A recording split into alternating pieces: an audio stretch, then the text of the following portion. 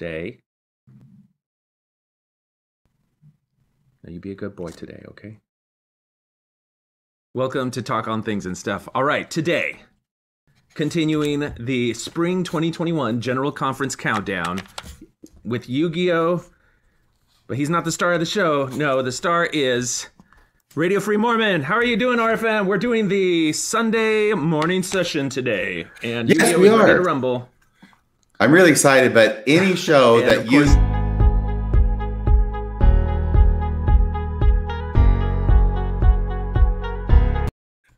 I'm very confused at this Okay, point. you are a problem, mister. Any show that Okay. Yu-Gi-Oh is in, Yu-Gi-Oh he's is messed the up my star audio. of. Hey, you stop it. Okay, hold on. You're gonna have calm down. Yu-Gi-Oh! Okay, for those who are listening to this on audio only, I want you to know Jonathan's talking to his dog right now, not to me. Okay. I don't think he's talking. Are you talking to me? Are you No, no, no. talking to me? He is he these things have like crack cocaine in them or something. He's like totally crazy. This is a new treat. Okay, that's it. If you don't calm down, you're gone, Yugs. All right. All right, I'm just gonna give him maybe he'll get drunk on it and like fall over in a stupor. Okay, let's I don't want to delay it any further because we got a lot to get to. RFM. Yes, we do. What do you got for us? Well, just the Sunday morning session of 2021 April General Conference is all. Okay, well, let's dive right into it because we have a lot to cover and we've only got two hours today. We do. And if we don't get to the end, that's fine by me. Okay. Because we can always pick it up Okay. later. I think the most important thing, Jonathan, is to have fun. Uh, absolutely. And Because- uh, we've already started there. Because I know, because we are putting the fun back in General Conference. Conference. Okay, let's do it. All right, so we've got. uh By the way, by the way, I, you might say Yeah. I'm playing with something in my hand. Yeah, what is that? What this is is something that it's like a, a keychain. It's a keychain. There's no keys on it at this point, but the son of a listener to the show made this keychain on a 3D printer, which always sounds so exotic uh, to me. But I guess if you know how to do it, it's probably easy. But I've got no idea. But anyway, I wanted to show this the special keychain that was made by the learner. son. Yes, hashtag lazy learner is inscribed upon this beautiful green keychain. So just want to make sure everybody can see that there. Oh, by the way, by the way, General Conference. This happened on Easter. So we've got Mm, the yes. Sunday morning session of General Conference. It's on Easter. And there's a number of things that are going to happen. And why don't we just talk about the special structure of this morning session of General Conference, which was apparently created by the dictate or the deep desire of President Nelson. And we have President Oaks who's conducting at the meeting, and he tells us how it's going to be structured and why. And this is specifically the Sunday morning session. Do you have that clip there, Jonathan? I do. This is from the. You won't be able to find it if you go to the first talk of the session, but you actually have to go to the one that has the entire session all in one block because Oaks stands up and gives some introductory comments. That's President Um, Oaks to you, pal. Oh, that's right. Uh, Dallin H. Hoax. Okay, let's see here. There he is. yes. All right. Let's see what he has to say. desire to have Hold on, hold on. We gotta have. It starts out with some uh, international. Korean. Those are Yes. Korean kids singing about the temple in their native Korean. They're each dressed to the nines and they're cute as buttons for those of us who cannot see this. Ending with a shot of the angel Moroni at the top of the temple. Yes.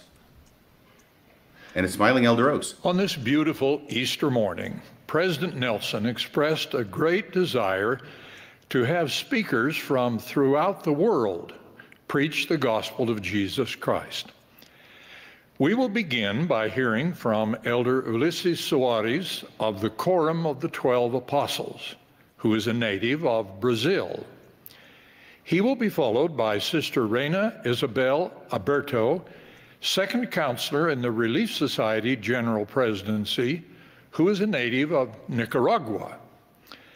Elders S. Mark Palmer of New Zealand and Edward Dubé of Zimbabwe will then address us. They are both serving in the Africa South Area Presidency and their messages were recorded previously. There we go. Perfect. Perfect. That is not a fake smile, by the way. That is not a fake smile we're seeing on the screen.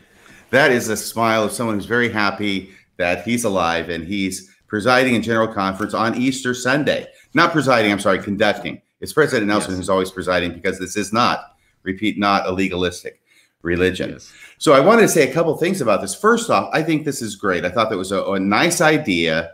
You know, let's do something uh, different.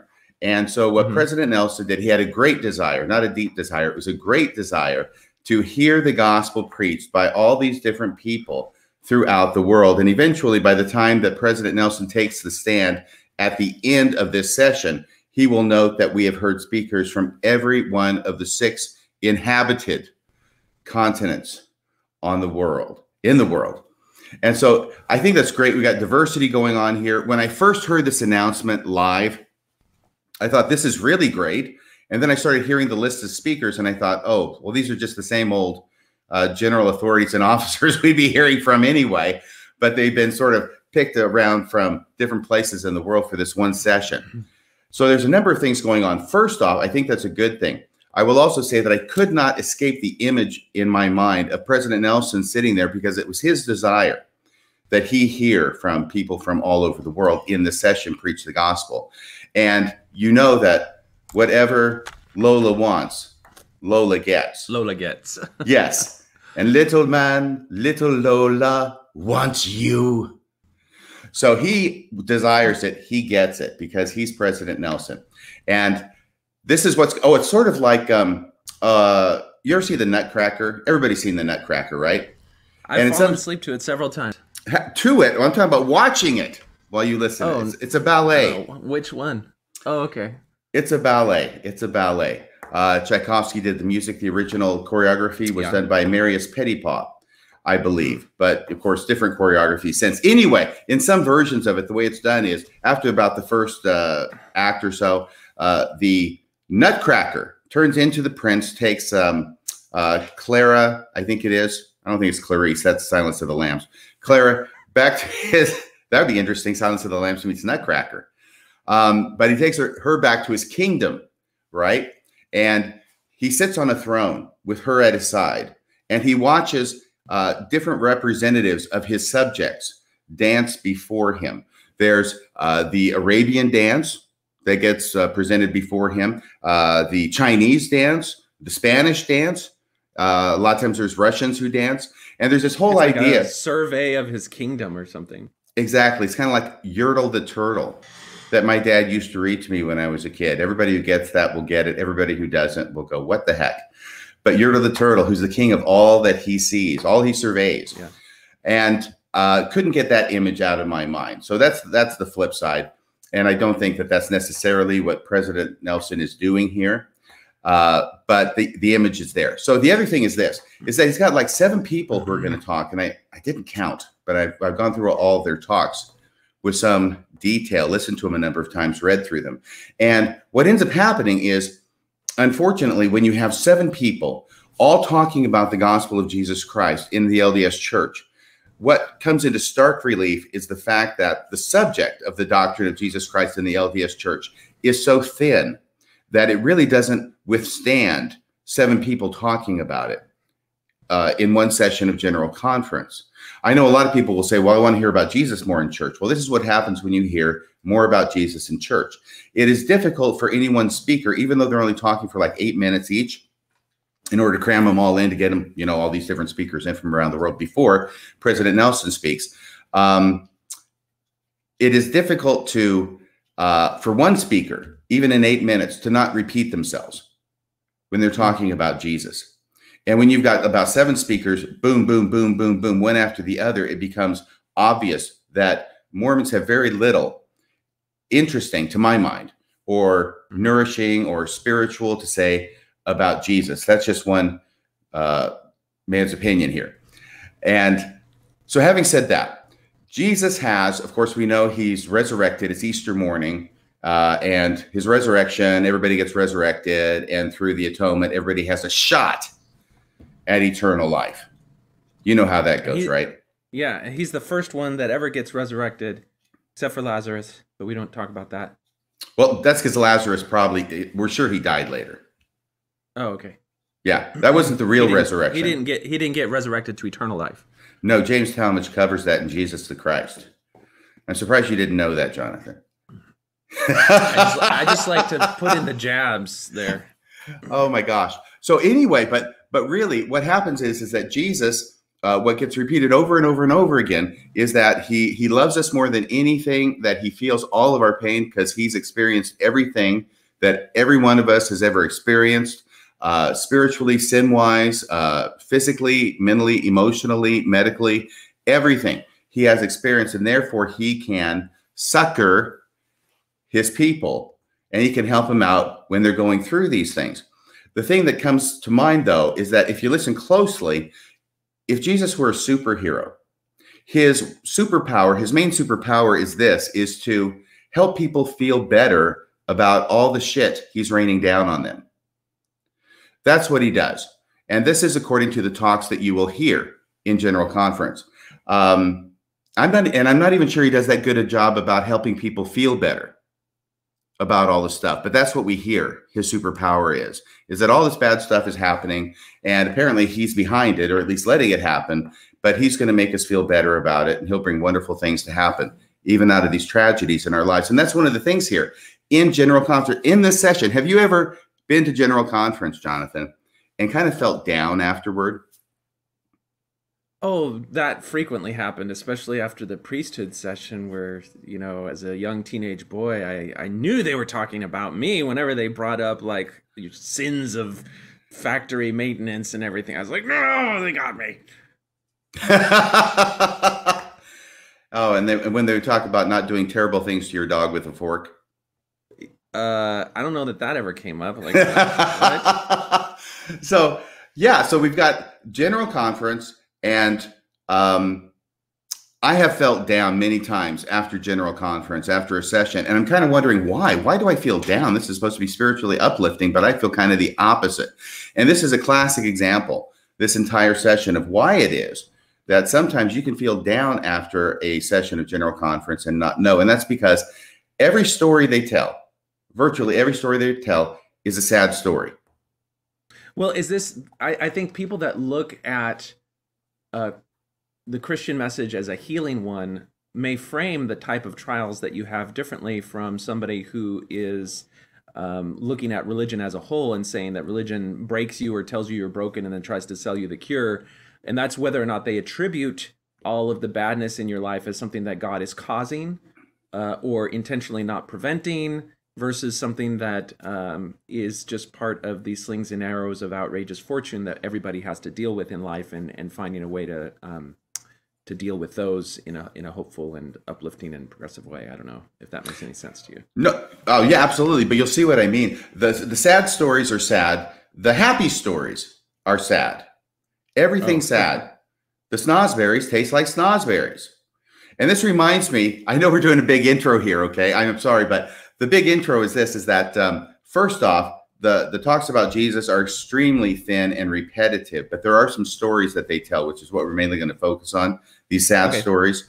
And the other thing is that uh, about ten years ago, there was a Chinese uh, foreign exchange student living at the house, and he's in high school, so he's 16, 17. He's a great guy, wants to be involved in everything American.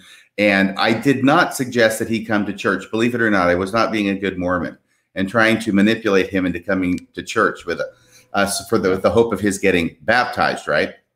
But no pressure, no pressure. But he came along anyway because he wanted to experience everything. So it's the first Sunday, it's September, first Sunday of the school year, and he's in sacrament meeting with me. It's fast and testimony meeting. He's never had an experience like this before in his life. He speaks pretty good English, so he can understand what the people are saying. And we get that. By the way, this is a totally standard fast and testimony meeting. There was nothing unusual about it from a Mormon's point of view. So it's nothing to me. And we get done and closing prayer, closing hymn. And I talked to him. I said, So what'd you think? And he says, Hmm, why is everyone so sad? And I just laughed because I had not thought of it that way. But, you know, all of a sudden he says that and they go, yeah, everybody's sad, even when they're testifying about how happy they are because yes. of all the blessings they receive from the gospel. They're up there crying. And these are not necessarily tears of joy. It's a very strange and confusing type of message. And he was picking up on it. So this is the same kind of yeah. thing that's going on here. So, by the way, are we ready now? Let me just double check and make sure I've done all of this long intro correctly because I've got so many notes up here. Uh, yeah, yeah, yeah. This is great. Okay, so the very first talk now is going to be given by Elder Ulysses Soares, who is a member of the Quorum of the Twelve, but because he's getting lumped in with all of these other speakers from around the world, he only gets eight minutes instead of the customary 15 that an apostle is supposed to get. Hmm. I don't know if this caused any any trouble among the ranks, but I doubt it. He seems like a pretty humble soul. So his talk is called Jesus Christ, the caregiver of our soul. He starts this uh, number of speakers talking and preaching the gospel of Jesus Christ. And if we can go to timestamp 558.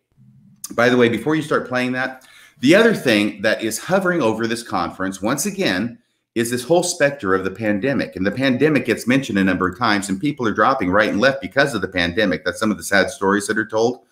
Um, but of course, the thing that's hovering in the background is the two days of fasting and prayer from a year before that President Nelson told all the saints, invite everybody in the world on two separate occasions, fasting and prayer to God to turn away the pandemic. First one didn't work.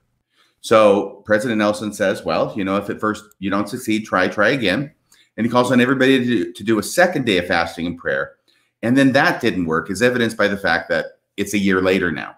And we're recording this, by the way, on May 28, 2021, but this is from Easter of 2021 when this uh, conference is given. So that is also in the background here. And it's a very interesting dynamic that's going on. And an example of why it is that a lot of times when you're looking at talks that are given or things that are written, it is helpful to know the historical context behind them in order to understand better what it is that's being said and why. So here we go to timestamp 558, and we get this uh, first reference here to the pandemic. Okay, so RFM, I realized while you were talking that there's an audio issue. Every time I connect to the uh, video, it cuts out my headphones. So I had to, while you were talking, route a different way to do it. I'm just going to switch over to that real quick. Well, that's why I was talking so minute. much to give you a chance to do that. You did. Jonathan. You did good. I was just covering for you. all right, you are a consummate professional. All right, so I'm going to hit share, stop screen, share and share screen and we're going to share a window and we're going to get the Safari window and share that. I'm going to do a close of this. Do you know what I learned in school today, Jonathan? What'd you learn? Sharing. Aw. Okay, so uh, Yu-Gi-Oh seems... Um, Yugi's cracking me up. he's crazy. Okay, so I'm going to do a test real quick. I'm going to see if you can hear this. Here we go. And afflicted. Okay, so and I can still hear you say something. I'm saying something. Okay, no, it did cut off you. Let me just try this here. I'm going to delete this and delete this, and I'm going to go there and there. We may be lucky to get through the first talk tonight. Okay, I'm just trying to make it so that I don't have to reset my headphones every time we do something. All right, RFM, say something. I'm saying something right okay, now. So I lost you there. I've been lost. Okay, so all of this started about a month ago when I got a different headset because I lost this one, and now this one has it's newer, but it has more problems. So we're working out of technical difficulties okay. on the air, folks. I hope that you will bear with us. And I'm just impressed that Jonathan knows how to do all this stuff. It's way beyond me, and it's looking like it's way beyond Jonathan right now. Okay, let's try one more time. Me talking? Can you hear me? I'm talking right now. I'm talking. Okay. Um, Does that mean you didn't hear me? Why am I having this problem? Mm. Okay. Well, it's not like there's thousands of people watching or anything. On audio, loop back. Yes, turn that on. Okay. Perhaps I just should just start singing uh, whatever Lola wants, Somebody Lola posted gets. that they bear all things, and that's that's a good thing that Mormons are able to do that because no, it says uh, we bear all thinga. A lot to have to bear. That says okay, we bear so, all thinga. Uh, let's see here. I caramba. I've rebooted both of my Bluetooth system. I'll do that again. We're rebooting now, folks.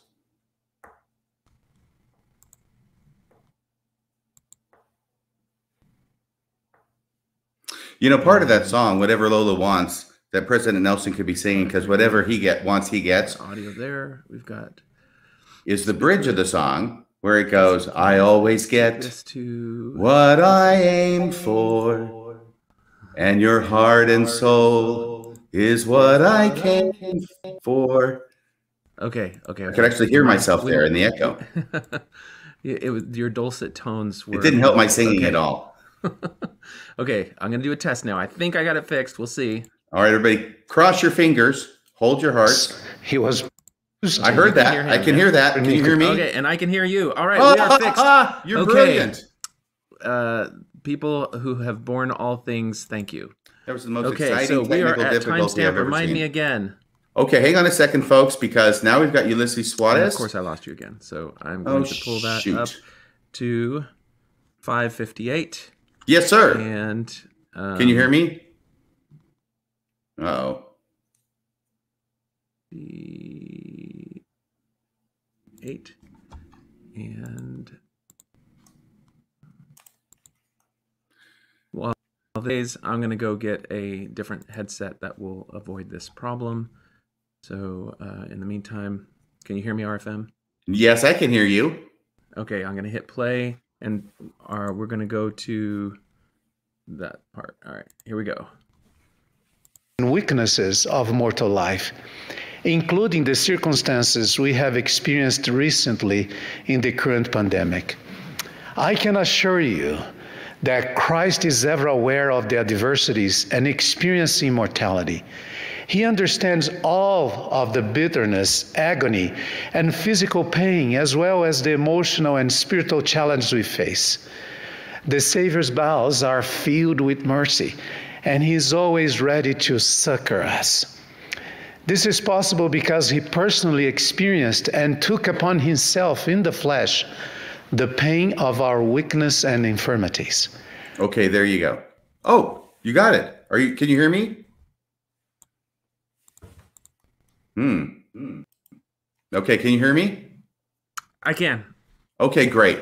So that is an example right there of the idea about the current pandemic that the Savior, he understands, he knows exactly what we're going through. He understands all of the bitterness, the agony, the physical pain, as well as the emotional and spiritual challenges we face. That's a quote from his uh, talk there that he just said. And he also says the Savior offers us relief and comfort as we face our afflictions, temptations, and weaknesses, including uh, those that we have experienced recently in the current pandemic. Well, of course, this begs the question, doesn't it? If Jesus knows about all of our troubles and all the problems that we're going through, and deaths, by the way, and tragedies that are going on, which will be referenced in, in different talks, caused by this pandemic, if he's there to offer us comfort, I mean, couldn't he just like uh, short circuit the whole process and have honored either one or both of the days of fasting and prayer and turned away the effects of this pandemic in the first place? That would have seemed the easier way, perhaps the more effective way of comforting us and dealing with the tragedies from the pandemic. Your thoughts, Jonathan? I don't even know. Are you in a place where you can give your thoughts? Uh, yeah, I mean, I, I struggle. Like, it, I think it's very easy to look at those types of internal contradictions and be critical of the church um, and religion in general. I I see religion as um, you know some aspect of it is finding ways to muster hope and um, in the face of adversity. And this to me is just an expression of that. And that's something that you find in in all sorts of different traditions. Um i don't know. It, it- i think if you keep it solely as ways to find hope and and resilience in the face of adversity it's fine. But as you allude to they are not just that. They're also asserting some sort of healing power uh, through fasting, through their blessings of healing, and that in and of itself kind of taints the whole thing because they're they're basically just on one end they're going to exploit religiosity to have you find hope and on the other end they're going to exploit your dependence on them in order to be healed or not be healed or have faith not to be healed. And all of it points back to continuing belief in them and their authority and obedience and all the other things that go along with it. Right and this next uh, feelings. it sounds like you're ambivalent. Uh, next one is going to be timestamp 7.51 but before we start playing that i will note that right before this he does reference that healing power because it's always this mixed message going on. And that's one of the reasons why it's so hard to actually understand or make sense in a cohesive and overarching way out of a lot of these talks. What he says is, furthermore, we will receive the strength we all need to overcome the hardships, weaknesses, and sorrows of life, which are exceedingly difficult to endure without his help and healing power. Yeah. You see, you have both of those things there. So I guess you're sort of hedging your bets. You know, he's got healing power, but if for whatever reason he doesn't heal you, then he's going to uh, make it uh, comfort you or some something during this difficult time. All right, let's give it a go. Yeah, here's a story. Here's the first two people dying of COVID 19 because God did not honor the two days of fasting and prayer. Near the end of last year, I learned of the passing of our dear couple, Mario and Regina Emmerich, who were very faithful to the Lord and passed away four days apart from one another due to the complications from COVID 19. One of their sons, who is currently serving as a bishop in Brazil, related the following to me, and I quote it was so difficult to see my parents depart from this world in that condition. But I could clearly feel the hand of the Lord in my life amidst that tragedy because I received strength and peace that transcended my understanding. Through my faith in Jesus Christ and his atonement, I received divine help and strengthen and comfort my family members and all those who helped us during this trying experience. Even though the miracle that everyone hoped for did not occur, personally, I am a witness of many other miracles that we have that have occurred in my own life and in the lives of my family members. I felt an inexplicable peace that penetrated the depths of my heart, giving me hope and confidence in the love of the Savior for me and in the plan of happiness of God for His children. I learned that on the very most grief filled days, the loving arms of the Savior are always extended when we seek Him with all our heart, power, mind, and strength. And there we go. End of quote is what he ended up by saying. Okay, so this is a great example of how this plays out in conference talks and I'm hearing just a bit of a, an echo there. I think you already took care of yeah, it. Yeah, no. Every time I stop the video, I have to reset my headset. So just give me a second. Absolutely. you, want me to just continue talking? That's yeah, okay. Yeah, I'll, it'll it'll just be a little blip, and then you get to keep going. Okay, thanks. So we've got these two people, Mario and Regina Emmerich, and they are described as being very faithful to the Lord. Okay, that's important. They're Latter day Saints, they're very faithful, and yet they pass away due to complications from COVID 19. So, once again, if God had answered the saints' prayers a year ago and the days of fasting and prayer to turn away COVID, this would not have happened to Mario and Regina Emmerich. Additionally, as they are faithful Latter day Saints who would obviously have received priesthood blessings to heal them from their afflictions, mm. and yet those blessings did not work. Now, I'm assuming that they received priesthood blessings. Part of the tragedy of this that is not being described here, but which is assumed is that the parents then died in some degree of isolation yeah. from their family members. And that's really, and probably from each other. I don't know what the situation was. I'm assuming this was in Brazil where it occurred, but this is very, very tragic. But so I don't know if, under the circumstances of the pandemic, if they were able to receive priesthood blessings directly. I'm sure the priesthood was invoked. I know that prayers were uh, put up in their behalf and everybody wanted the miracle that they would survive. In fact, he refers to that. He says, even though the miracle that everyone hoped for did not occur. Okay. So that miracle does not occur. They both pass away. They end up being two more enrollees in the General Conference death march. But what we understand then is that there is no help for the widow's son here. These people, even though they're faithful Latter day Saints, even though we presume that as much priesthood power and blessings were given to them as possible under the circumstances, they nevertheless passed away. It's not something I'm making fun of. It's just something I'm pointing out as they pass away. They don't get the miracle they hope for, but the miracle that they do get is God makes them feel better about their parents passing away under these horrible situation circumstances. Yeah. So that's how that goes. That was an uplifting story, wasn't it? It's a bit of a downer, but it's it's kind of funny because you know one of the things that I do uh, occasionally in my videos coming out, I'm having every technical difficulty possible, and I blame Yu-Gi-Oh for all of it. But uh, early in church history, one of the things that you can find is reports that these new Mormonites are eschewing medicine. They they're saying you don't have to go see a doctor, you don't have to take medicine. That them and their healing powers will heal you. And it's it's kind of probably would be an interesting and fascinating subject to do a whole podcast on specifically, which is the charismatic healing aspect of early Mormon church history, because it was a central part of the expression of priesthood power. And there was, um, it, it, it's kind of double sided because they'll give blessings, and if you get better, then they'll say they did it, even though it could just be, you know, a certain percentage of every sickness is going to get healed. That's one aspect of it. The other aspect of it is this happens all the time in kind of religious manipulation is they get someone who's on the inside, a confederate, to pretend to have a certain ailment and then the religious practitioner will practice the healing arts and they'll be cured. You know, this happened in Jim Jones if you read the early stories about uh, exorcism, and you and I uh, covered exorcism before, that's another expression of that.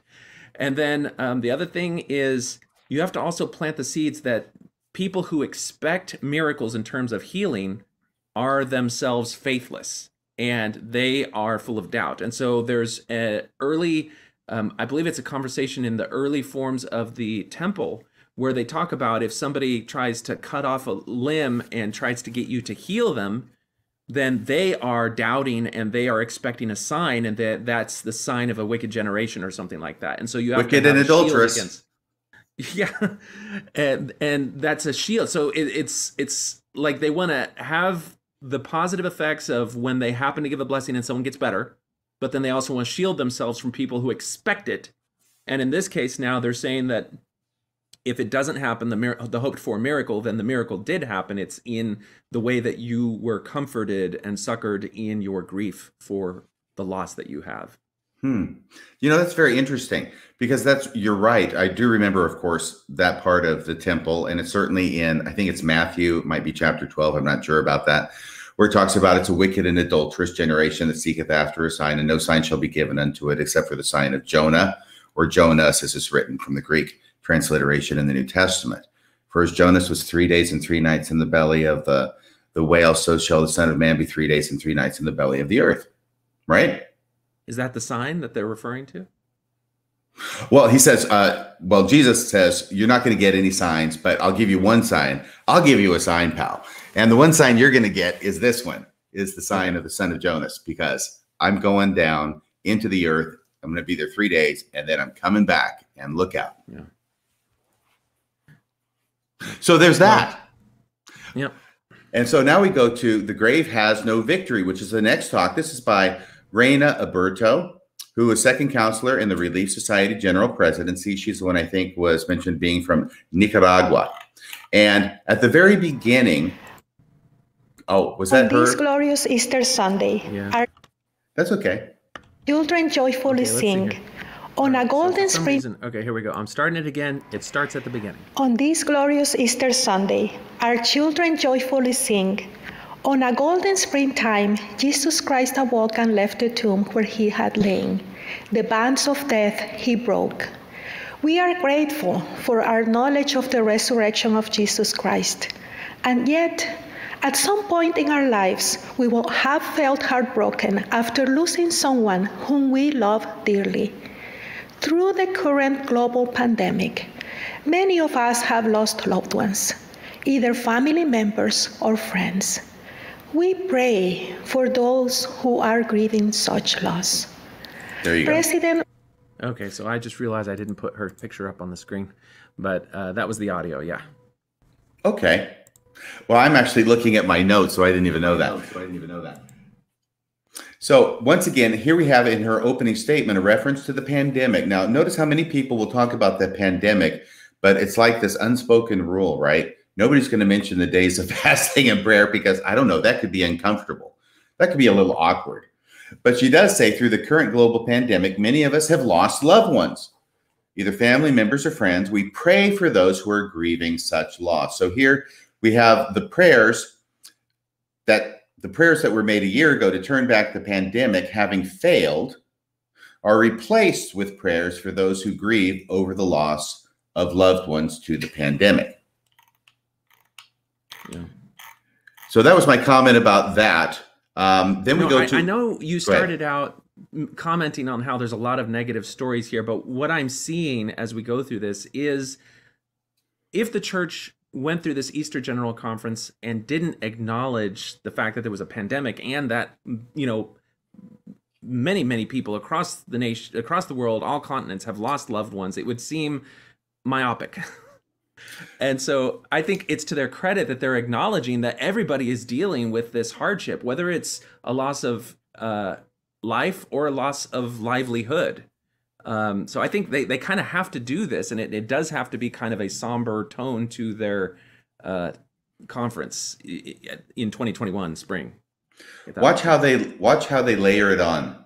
Now we'll go to because it's more than just it's more than just um, uh, the epidemic, the pandemic, and of course they have to mention it. And you're right, and I agree with you. But now they're just going to layer it on and layer it on. She's going to go back to a story when she was nine years old to tell this heart wrenching story. And this is a bit long, but it's a story, so it's more interesting than just um, Mhm. sort of talking. Um, okay uh, but this story is interesting because one of the things it does is not only this really sad story about her her brother dying, her older brother dying when she's nine years old in an earthquake, but how it is that a desire and a missing of her brother ends up 40 years later becoming a revelation to her from the Holy Ghost that he is still alive beyond the veil.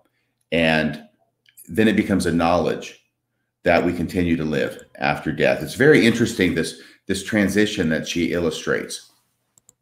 all right well let's uh, let's take a look the death of the Lord. When I was nine years old, I lost my older brother during a devastating earthquake. Because it happened unexpectedly, it took me a while to grasp the reality of what had occurred. I was heartbroken by sorrow, and I will ask myself, what happened to my brother? Where is he? Where did he go? Will I ever see him again? Back then, I did not yet know about God's plan of salvation, and I had the desire to know where we come from, what the purpose of life is, and what happens to us after we die. Don't we all have those yearnings when we lose a loved one or when we go through difficulties in our lives? A few years after, I started thinking of my brother in a specific way. I would imagine him knocking on our door. I will open the door. He will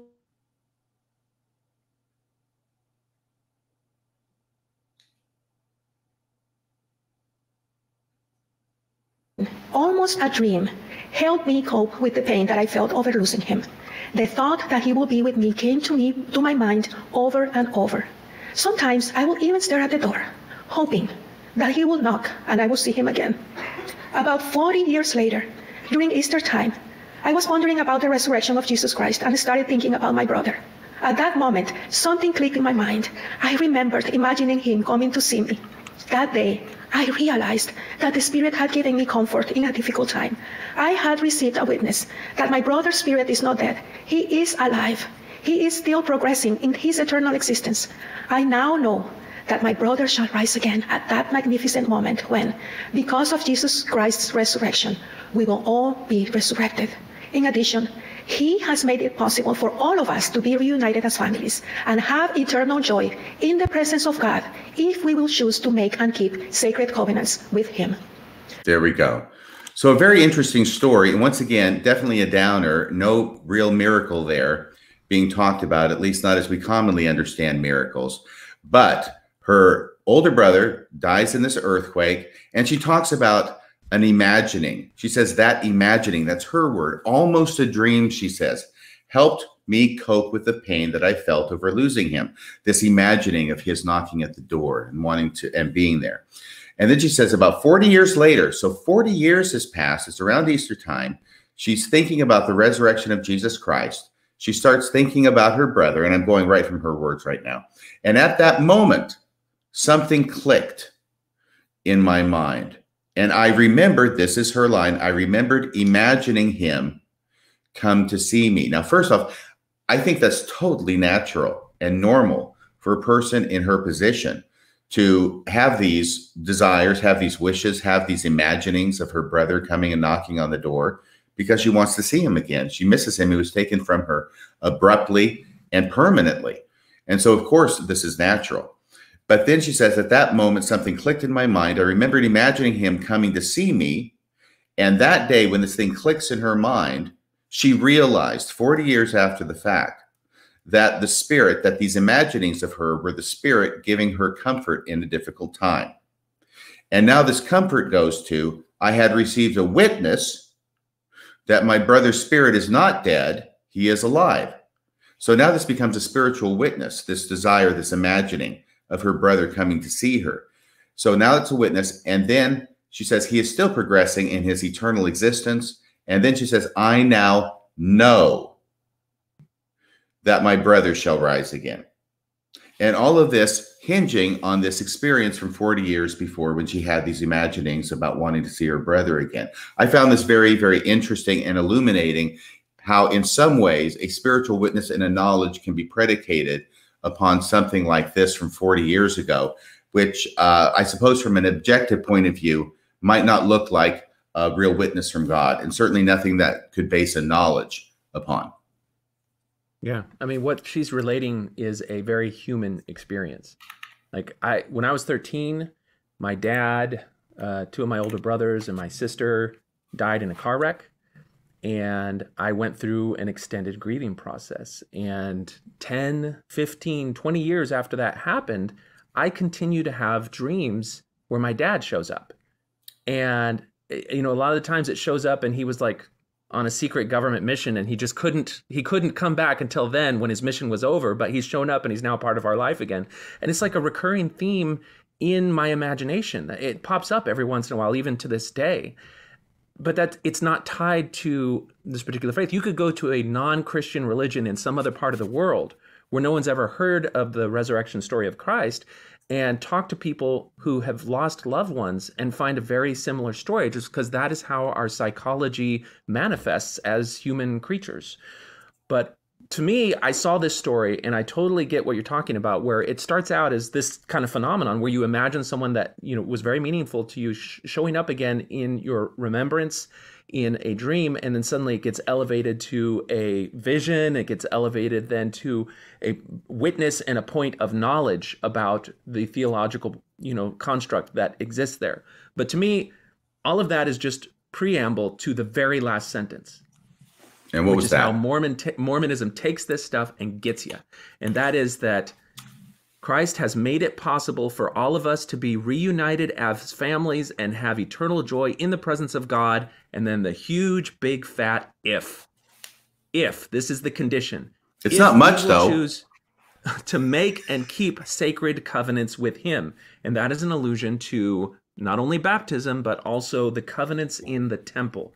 Because while the wider Christian world just sees the, a commitment to Christ as that, you know, baptismal covenant, um, or an expression to follow Christ. The Mormonism, it's not just that, it's also all the things that you're raising your hands, all the pantomiming and stuff that is continued to be contained in the Mormon ritual in the temple, uh, going along with those covenants. And if you want to see more about that, just take a look at the discussion regarding Senator Gordon Brown um, that you can find on the Thoughts on Things and Stuff website or any number of the other discussions. So that's kind of the thing that hit me in the face.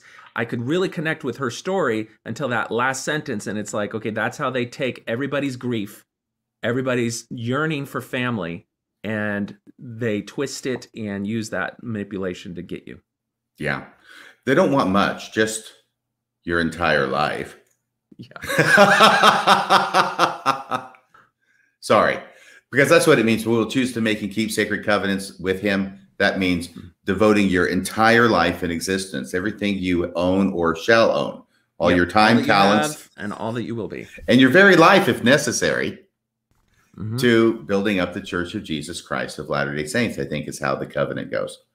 So, yeah, you're right. Good point there. Um, are we ready to go to Our Sorrow Shall Be Turned into Joy by Elder S. Mark Palmer? Several years Yes, we are. I think he's, Uh, is he an Aussie? sure or that maybe I he's from New Zealand. him- He has a wonderful accent. It is New Zealand. Ah, excellent. All right, so we're going to start with him at the very beginning, and I will cue it up. several years ago, while attending meetings in Salt Lake City, I was greeted by our dear prophet, Russell M. Nelson. In his typically warm and personal way, he asked, Mark, how is your mum doing? I told him I had been with her earlier that week at her home in New Zealand, and that she was getting old but was full of faith and an inspiration to all who knew her. He then said, Please give her my love and tell her I look forward to seeing her again. I was rather surprised and asked, Do you have a trip planned to New Zealand soon?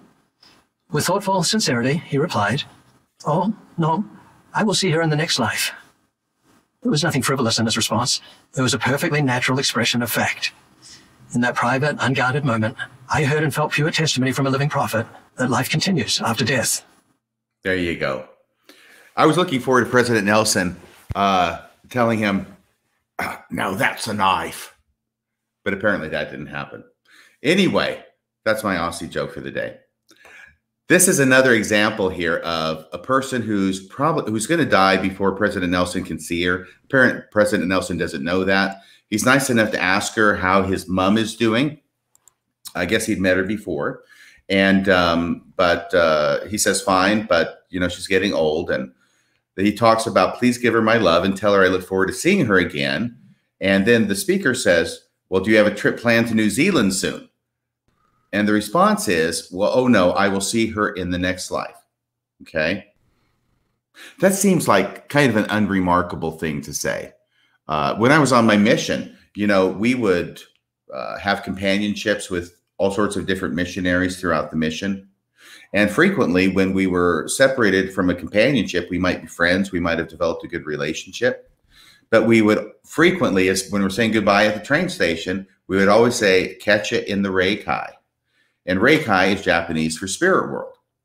So hmm. catch you in the spirit world, you know, that's what that's what it's about. We'll see you in the spirit world because I'm probably not going to ever see you again on this life.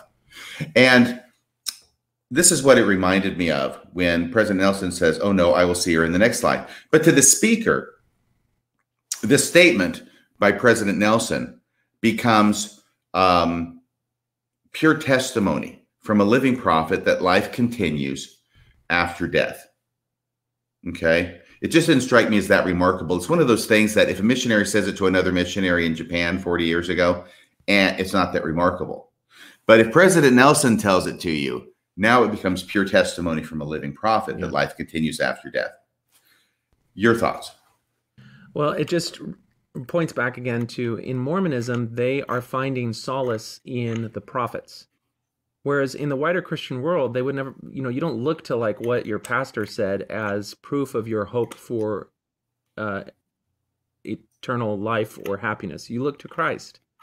And it's kind of that by having that focus on Christ as a figure, you're never elevating some man to some degree of reverence that would then make it more likely for you to um, be exploited by them. Of course, you know it still happens, but um, that's just it's just a reflection again how Mormonism is a Christian religion that very much elevates the man at the top right alongside Christ, and we're seeing that just reflected again and again. How in these stories on Easter, they're pointing to the guy at the top. And yes, you know, every once in a while there's an allusion to Christ. There's this really great cartoon by the Naked Pastor where it, it's it's all about Pastor Bob, and it shows this uh, this picture of the sermon, and it's like this is a Christian church. It's all about Christ, but then all the signs say Pastor Bob, Pastor Bob. It's all about Pastor Bob, and it's like yeah, it's a Christian religion, but it's all about Pastor Bob, and uh, that you know just reflects this type of paradigm for these religious authoritarian figures that try to just capture this part of people's lives.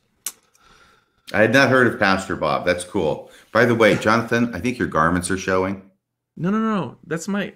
I got addicted to having a nice, comfortable undershirt as a Mormon, and so I still do that. So did I. See my undershirt? Yeah. What does that say? Monster Madness. The mis- Oh, the madness of Mysterio. That's what he used to look like back in the early 70s, folks, when he had a bubble Yeah. head.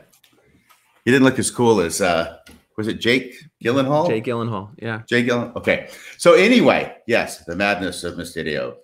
Um, so there's that story. Now, by the way, there's, get all out great- your there's all sorts of great metaphor in the way they did that story in that Spider-Man movie. Anyway, just in terms of you know pretending to have power, it was great. Mm. Anyway, keep going.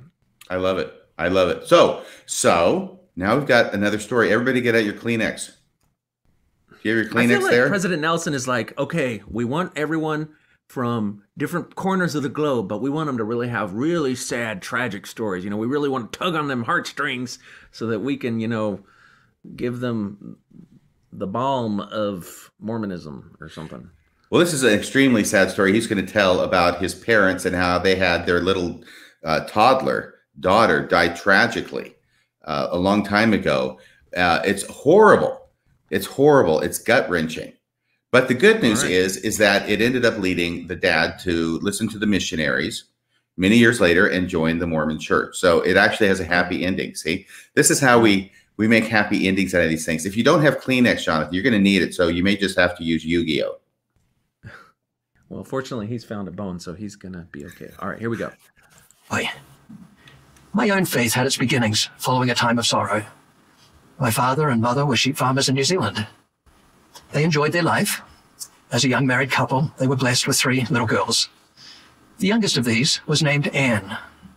One day, while they were on holiday together at a lake, 17 month old Anne toddled off. After minutes of desperate searching, she was found lifeless in the water. This nightmare caused unspeakable sorrow. Dad wrote years later that some of the laughter went out of their lives forever. It also caused a yearning for answers to life's most important questions. What will become of our precious Anne? Will we ever see her again? How can our family ever be happy again? Some years after this tragedy, two young missionaries from the Church of Jesus Christ of Latter-day Saints came to our farm. They began teaching the truths found in the Book of Mormon and the Bible.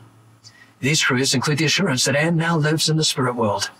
Because of the resurrection of Jesus Christ, she too will be resurrected. They taught that the Church of Jesus Christ has once again been restored on earth with a living prophet and 12 apostles. And they taught the unique and remarkable doctrine that families can be bound together forever by the same priesthood authority Jesus Christ gave his chief apostle Peter. Mum instantly recognized truth and received a witness of the Spirit. Dad, however, wrestled for the next year between doubts and spiritual nudges. Also, he was reluctant to change his way of life. One morning following a sleepless night while pacing the floor, he turned to Mum and said, I will be baptized today or never. Can, I, can we break in Mum here for a second? missionaries what had happened. Because this is kind of long, uh, this whole story. And certainly he's gotten over the most gut wrenching part of it. I mean, can you imagine how horrible that would be? How awful, and how you would blame yourself as a parent for that happening for the rest of your life. I came perilously close to something like that happening to me. And I can, you know, only imagine if it had actually happened and tragedy had struck. But, but the deal is this is that this is going to end up leading to uh, the family, the parents, especially the dad, getting baptized. And so there is a good ending to this. There's sort of a post hoc ergo propter hoc logical fallacy going on here, which means that because something is after the fact, it was caused by the fact. And of course, the original fact is the, the tragedy with Anne and her drowning. But then subsequently is the dad getting baptized. And there may be a connection between the two. There actually may be a connection between the two. But the idea is that, okay, um, in order to get dad baptized, God's willing to pull out all the stops and do anything he needs to do in order to make it happen. It's terrible because you would think God up there, if he wants this guy's dad baptized and he wants the family baptized, couldn't he come up with some other way? Is this really the only way? And in this way, Anne almost assumes a Christ like figure role in the story that she has to be sacrificed in order for the family to be saved. I don't want to overthink this, but that is sort of where it leads. At least it leads me.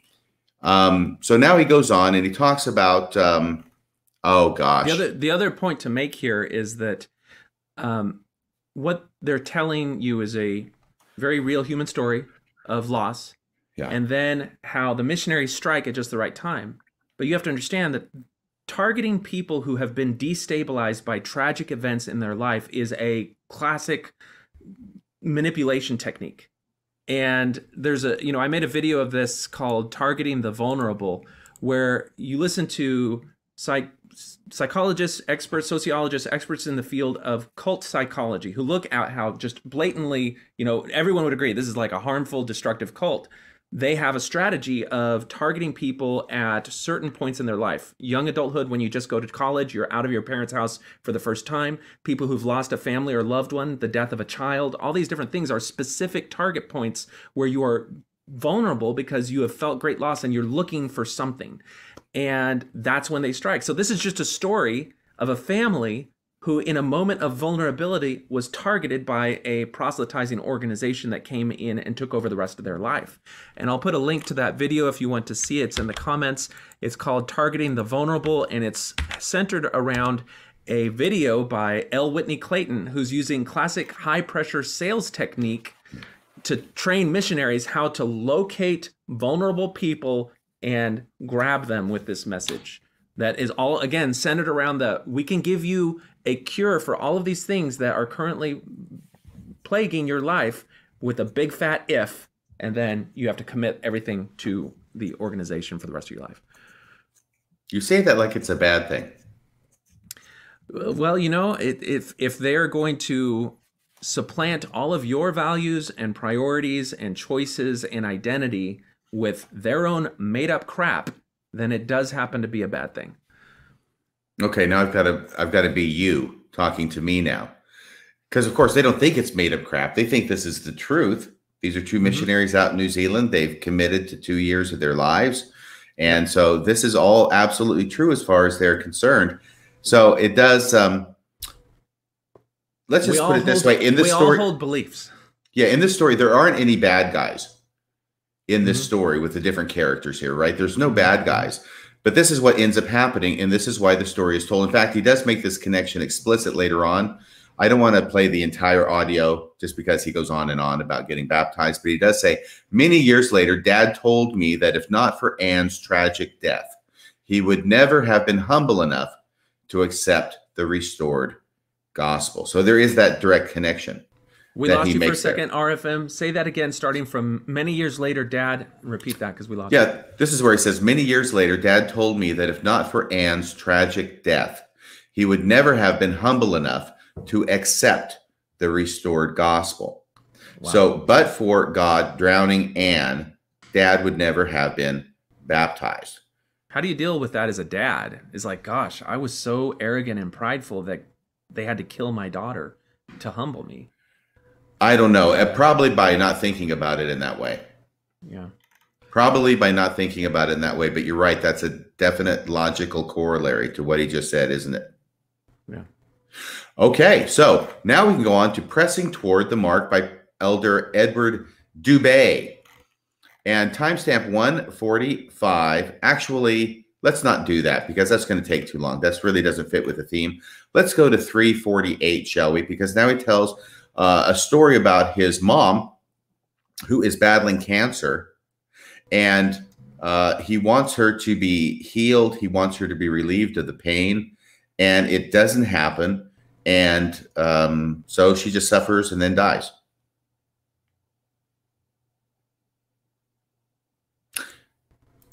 All right, we lost you for a moment there, RFM. So she suffered- Her, her his mom's battling cancer. He wants her to be healed. Continue.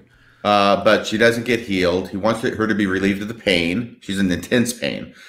And he wants her to be relieved of the pain. By the way, it's not clear whether he's a member of the church at this time. He doesn't make that clear. So maybe he's not. Uh, if he is, I imagine he's giving her priesthood blessings. If he has the Melchizedek priesthood, regardless, he's praying and wanting her to be relieved of, of her pain, as any loving son would, right? As Mhm. anybody would. But it doesn't happen. And she continues to suffer and then she dies. And that's the story. But the lesson, the lesson that he gets from his mom in this is hey, if God wants me to suffer, I'll suffer. It's a very fatalistic kind of attitude. There's no idea of an intercession being made by God to relieve either pain or cure or anything except this is God's will. So it's our duty to submit to it and go through everything that He wants us to go through, no matter how painful it may be. Okay. So we're going to go to timestamp 348 on uh, pressing towards the mark.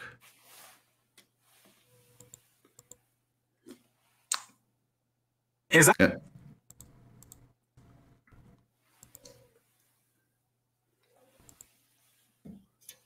my sake shall find it.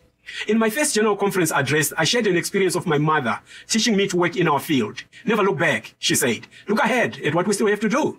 Towards the end of her life, while mother battled cancer, she lived with Naomi and me. One night I had her sobbing in her bedroom. Her pain was intense, even after taking her last daily dose of morphine only two hours earlier. I entered her room and sobbed with her. I prayed aloud for her to receive instant relief from her pain. And then she did the same thing she had done in the field years ago. She stopped and taught me a lesson. I'll never forget her face at that moment, frail, stricken, and full of pain, gazing with pity on her sorrowing son. She smiled through her tears, looked directly into my eyes and said, it is not up to you or anyone else, but it is up to God whether this pain will go away or not. I sat up quietly.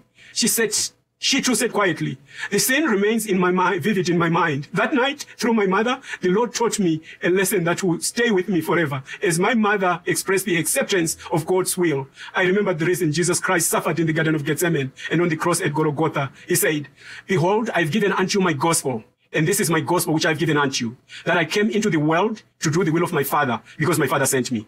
As I reflect on There you go.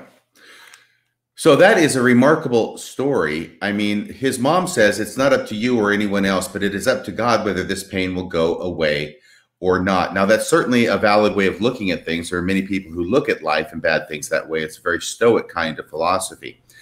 The deal is this, though, is that in the LDS church, I mean, this is one message we're hearing in the LDS church, and this isn't the only time we hear it, whereas we just have to submit to whatever God wants to inflict upon us.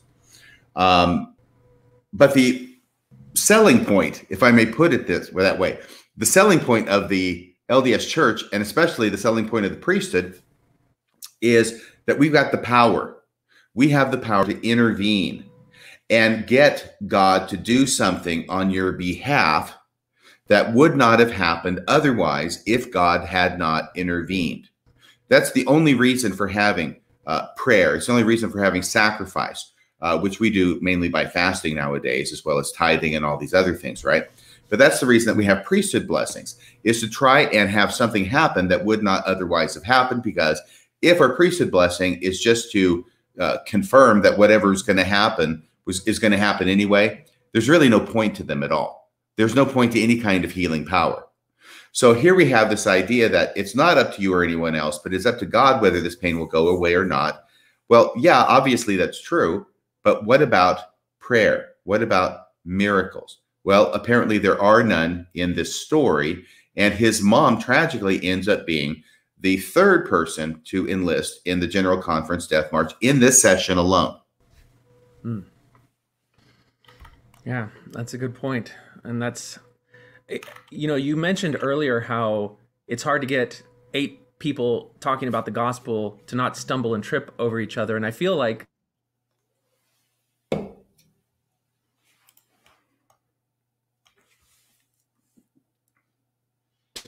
just the local tradition of how you relate God and divine intervention to life's tragedies, because this seems to be a very different approach than you'll see in in other instances where there is an allusion to this power to call, this this ability to call upon the powers of heaven in moments of need. And for you know what is the point of a anointing and and laying on of hands to heal the sick if that's not actually what's going on as you as you point out, that's not actually what's going on. It's just a confirmation of whatever God's will is anyway, and helping you to deal with that.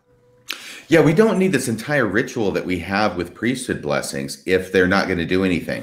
Because remember, you can't just use any olive oil, right? Well, first off, you have to use you have to use something. You have to use an oil. It has to be olive oil, and then you have to consecrate the olive oil, right? And that's a Mhm. priesthood ordinance. And then you got to get two Melchizedek priesthood holders together, so that first one can take the oil that's already been consecrated and then anoint the person with the oil, and then the second person, generally, it's the second priesthood holder, uh, Yeah. lays hands on him with the other person and seals the anointing, and then gives the blessing, right? Then gives the Mhm. blessing. We even call it a blessing. Yeah. So uh, it's a very strange thing that we have both of these messages that go on, but it does seem that more and more we're getting focused on the deal that um, having the faith to just suffer and die is greater than having the faith to be healed. And obviously that that harks back to Elder Bednar from 2013 at a talk he gave at the University of Texas at El Paso, I think. But but by the time we get to the last talk of this session, which may not be today, and that's okay, uh, by President Nelson, he's doing the same thing. He's actually elaborating upon this idea that was uh, originally, as far as I know, presented by David Bednar back in Yeah, and it's funny- 2013. if you were to take President Eyring's talk from the last session and play it right next to this talk, this guy's talk is basically saying, President Eyring, you're claiming that you performed a miracle to heal that little girl who got injured in the car accident. Well, God's going to heal who God's going to heal, regardless of what goes on. So you kind of need to just calm down and simmer down on claiming that that was a miracle. You're right. He, that, you're right. That's a great point because putting those two messages together, this gentleman is telling President Eyring that God was going to do what he was going to do anyway, regardless of your blessing. And it just so happened that it ended up uh, that she healed. She was healed after Yeah. you gave her the blessing, right? Yeah. But the doctors were disgusted with him and told him to go away. Yes. Yes, they did.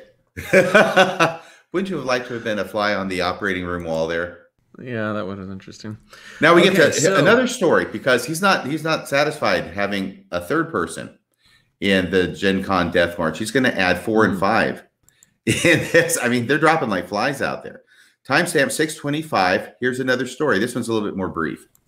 Okay, let's do it.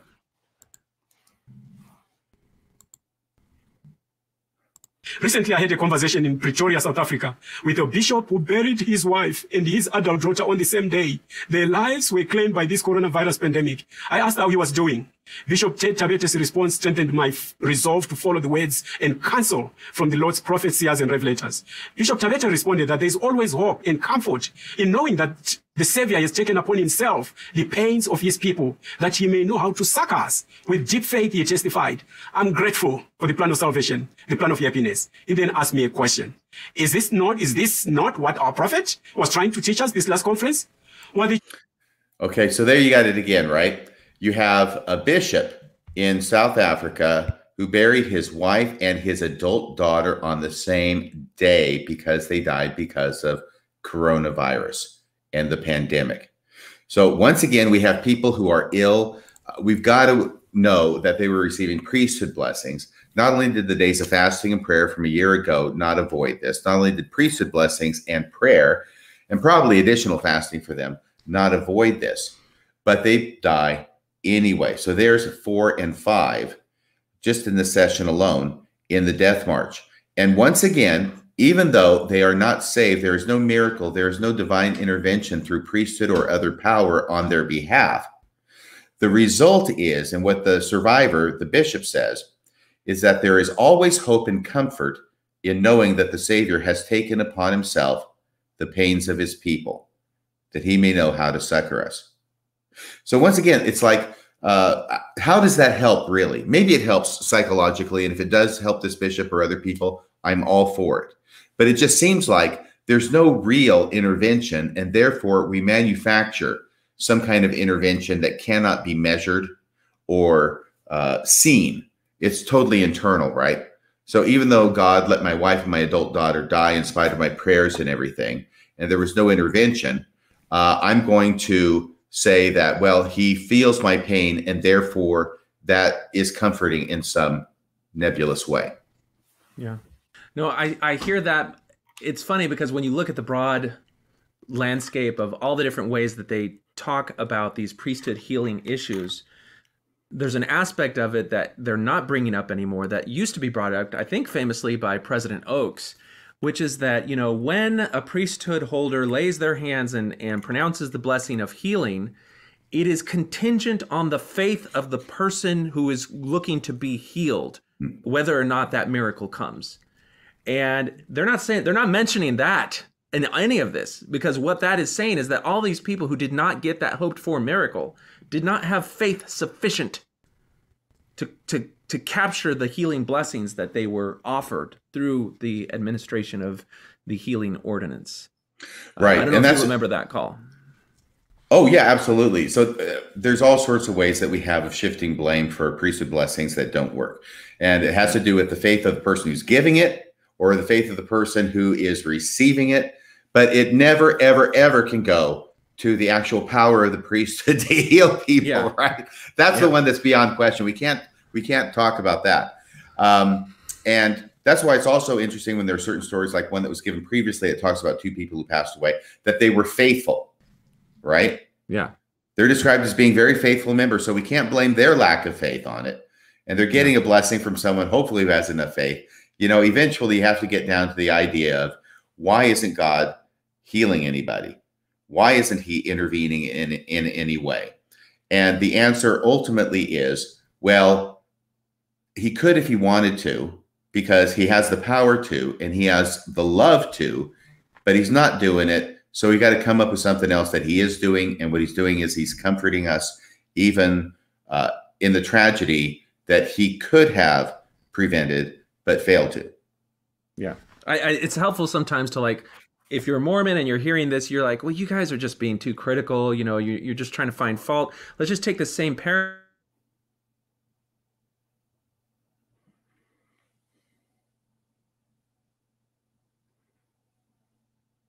You're going to find healing as you rid your body of these thetans and all of the things that have plagued you all the grief all the negative thoughts all the terrible uh, psychological impact of those thetans are going to be released. And so you go through that pro- you do that process and it doesn't work. You're still plagued by all this negative you know thought processes and everything. And they say well you're just not doing it good enough. You know you're not really really invested in this process. They'll blame everything and anything. Well maybe your auditor who was doing it didn't do it right or something. They just won't blame the idea that the entire construct handed down from L. Ron Hubbard was itself a fiction and has nothing to do with whether or not you are healed, and in some cases may actually make it worse when all the evidence points to that. That is a single explanation that makes sense of all of this without having to create, you know, other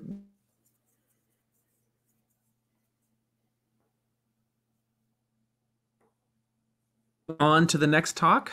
If you'll hang on just a second, because from a very Mormon point of view, I like the Scientology point of view too. But the Mormon point of view is if you read the Book of Mormon and pray about it and you don't get an answer, Jonathan, what's the problem? Well, you didn't pray with enough sincerity. You you know you you didn't study enough. You didn't pray hard enough. It's it's all your fault. Right. It can never be that the Book of Mormon isn't true. No. It has to be you because you're doing something wrong. We already know the Book of Mormon's true. So you, obviously you are not uh, reading it. You're not praying. You're not doing it with real intent. All those other Yes. things that you can shove off on you. Um, let's go down to now. This is um, the next talk. Remember your way back home by Elder Jose. Is it Teixeira? Do you know how to pronounce that Mm. name? You're Uh, closer to the border than I am. What? Uh, I that one's got me. Tex T- Texiera. T E I X E I R A. And he gives a talk. Um, and uh, let's see if we can go to timestamp 2.04, because this isn't a sad story. This is just a timely reminder that we need to follow the prophet. Okay, two point zero four. Let's do it.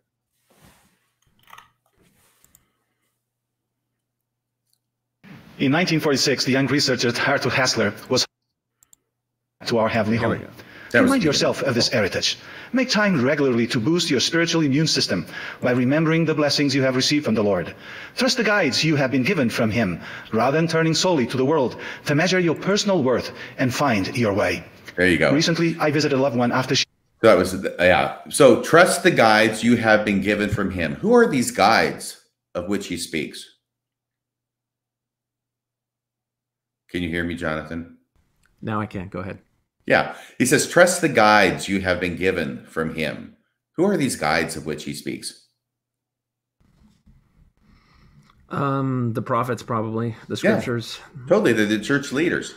Rather than turning solely to the world to measure your personal worth and find your way. So trust God's guides to find your way, not the world to find your way. And this is the kind of thing that we hear all the time in General Conference. I just wanted to point it up here. And now, if you'll continue to play from recently, we have this strange story. Once again, it's a sad story, but it's about somebody in the hospital. And I end up with more questions about this than I have answers. It's a very short story, thankfully. Okay, let's do it. I'm going to rewind just a hair. Thank you. I visited a loved one after she had been in the hospital. Right, she told let's go right back there. Recently, I visited a loved one after she had been in the hospital. She told me with emotion that while she was lying in the hospital bed, all she desired was for someone to sing to her the song, I am a child of God. That thought alone, she said, gave her the peace she needed in that hour of affliction. Okay, no- there you go. It's a strange story because this is that's the story, right? Story, right? That's the end of it. He goes on to with something else. This is the entirety of the story. So he's talking about he visited a loved one after she had been in the hospital. Now, once again, I have to say up front that with this whole coronavirus pandemic, it throws a twist into our understanding of these stories because it's possible that she was in a secluded area of the hospital, that nobody could get to her to visit her, to sing to her. I am a child of God. I wish that if that were the case, he would have made that clear because what it ends up sounding like is he has a loved one, right? Who's she was in the hospital and he doesn't visit her until after she had been in the hospital, apparently. He says, Recently I visited a loved one after she had been in the hospital. So once again, maybe it's because he couldn't go in the hospital to visit her. If so, I understand it, but it would have been helpful to know that. She told me with emotion that while she was lying in that hospital bed, all she desired was for someone to sing her the song, I am a child of God. But according to the story, nobody ever sings it to her. And that's sad. But then, even though all she wants is for someone to sing her, I am a child of God. By the way, why doesn't she desire a blessing, Jonathan? The thought occurs to you. If the thought occurs to one as I'm reading it, why is it why is that all that she desires is for a song to be sung to her and not for a blessing? Uh, I don't know. I, I don't know. There's a cynical answer and a realistic answer. I, I think realistically, you could say she may understand that because of coronavirus, people are not allowed to come in and lay hands. Yes. And and there is something, you know, when you talk about a proper priesthood blessing, it involves the oil, but also physical touch, not through gloves, physical touch. And so I think the church has struggled with that in the midst of the pandemic. Um, right. But there is prayer and fasting. Other religions who have traditions involving direct administration of sacramental um, ordinances in terms of eating uh, sacred symbols, they're having to struggle with that as well because those things involve direct uh, contact. Um, but that that to me, that's kind of what that invokes. What are your thoughts on it? Right. Well, there are other things such as prayer and fasting. Yeah. But what this event is is an absolute the story, the way it's told, I'm not trying to judge this lady, okay? But the story, the way it's told, events is a complete lack of any uh, faith in any kind of healing power through any kind of activity or administration, whether it's prayer, fasting, whether it's priesthood blessings, whether it's anything, because the only thing that she wants is for someone to sing her the song, I am a child of God. In other words, something to comfort her while she's going through this thing that otherwise cannot be avoided through the intervention of God. And then he says, That thought alone, she said, just the thought of wanting someone to sing to her, I am a child of God, that thought alone, she said, gave her the peace she needed in that hour of affliction. So, like I say, it's kind of a strange story. I don't understand yeah. Exactly what I, it means. Because that struck me at first. It's like, well, so just the need for someone to sing with her, that seems really weird. So I looked at it again. Is there a different way that's maybe more charitable to interpret what he's saying here? And I think what he's trying to say is that her thought about the principle of the song that I am a child of God. Her knowledge of herself as being a child of God is what gave her comfort, and she perhaps would be reminded of that by someone singing it to her. But hmm. the concept itself is what gave her comfort. Uh, and I and I can understand that. I think that is a comforting thought to many people who who see their relationship with God in that paradigm. Okay, very good. I like that. Timestamp 4.20 from the same talk gives us the obligatory warning about searching for information on the internet. Great. All right, here we go. 420. Blaze it. Here he is. To be prayerful. We live in a time when, with a single touch or a voice command, we can begin searching for answers on almost any topic in the immensity of data stored and organized in a vast and complex network of computers. On the other hand, we have the simplicity of the invitation to begin seeking answers from heaven. Pray always, and I will pour out my spirit upon you. Then the Lord promises, and great shall be your blessing, yea, even more than if you should obtain treasures of earth. There you go. So what I get, I have to give credit to the Mormons, okay? Because when it comes to this subject, at least they're not as heavy-handed as the Jehovah's Witnesses. Yeah. And the Jehovah's Witnesses will come right out and say, "Do not be looking on the internet. That's bad stuff. It's a bunch of lies." They're really heavy-handed. The Mormons give the same message, but in a gentler way. And can you see how he's giving that same message here, Jonathan? Yeah, I mean it's they they use fear of being deceived. Um, they use the whole otherness of sources that are not coming from the church cannot be trusted. You know, all these little things. I think it's really interesting where he actually brings up voice command. So he's alluding to Alexa or Google Voice, and he's saying, you know, you can search for. Ant- I just want to. I want to try something out. I haven't done this before, but since we're live and he mentioned it, hey Google, how many wives did Joseph Smith have? Let's see if it works here. 40 wives. Here's a summary from the website npr.org. Joseph Smith had up to 40 wives. The two-way, NPR. Okay. To find out more, look for the link in your Google Home or Google Assistant app.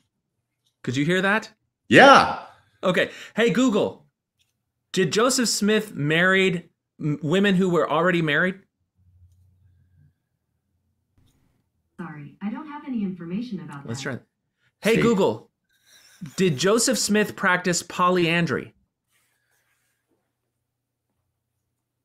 Sorry, I don't have any information about that. The church has been hard at work. Eh, I, I don't know. We're gonna have to we're gonna have to train Google. I think she's already been trained. By President Nelson, they've been having special sessions on the fourth floor of the Salt Lake Temple. Yes, it's called SEO, Yes. search engine uh, search engine optimization. Oh my gosh, you know, I, I go to YouTube uh, on my phone to look up the Mormonism live show. Sorry, I'm not trying to do a plug for that, but the Mormonism live show, right, that I do with Bill Reel every Wednesday night at 6:20 p.m. Mountain Time. Uh, but no, I go to Mormonism live, right, and boom, before we get to the first episode, there's like all these different ads from the church before you get to the actual Mormonism live episode. Yeah, that's great. So that's the the CEO was SEO. SEO, search engine optimization. Yeah, you know Yeah. the church is buying lots. Is like anyone that's searching Mormonism, Mormonism Live, Radio Free Mormon. We want to hit them with ads for uh, the church. That way they can be shielded from the apostasy. Are you ready for another sad story? Uh, yes, let's do it. The closing song I think for this that I'll put on it is uh, Elton John singing sad songs. Say so Sad much. songs they sing. Yes. All right. Okay, here's another. But nobody dies. I think. I'm sure a lot of Okay. people die. Just nobody actually in the story.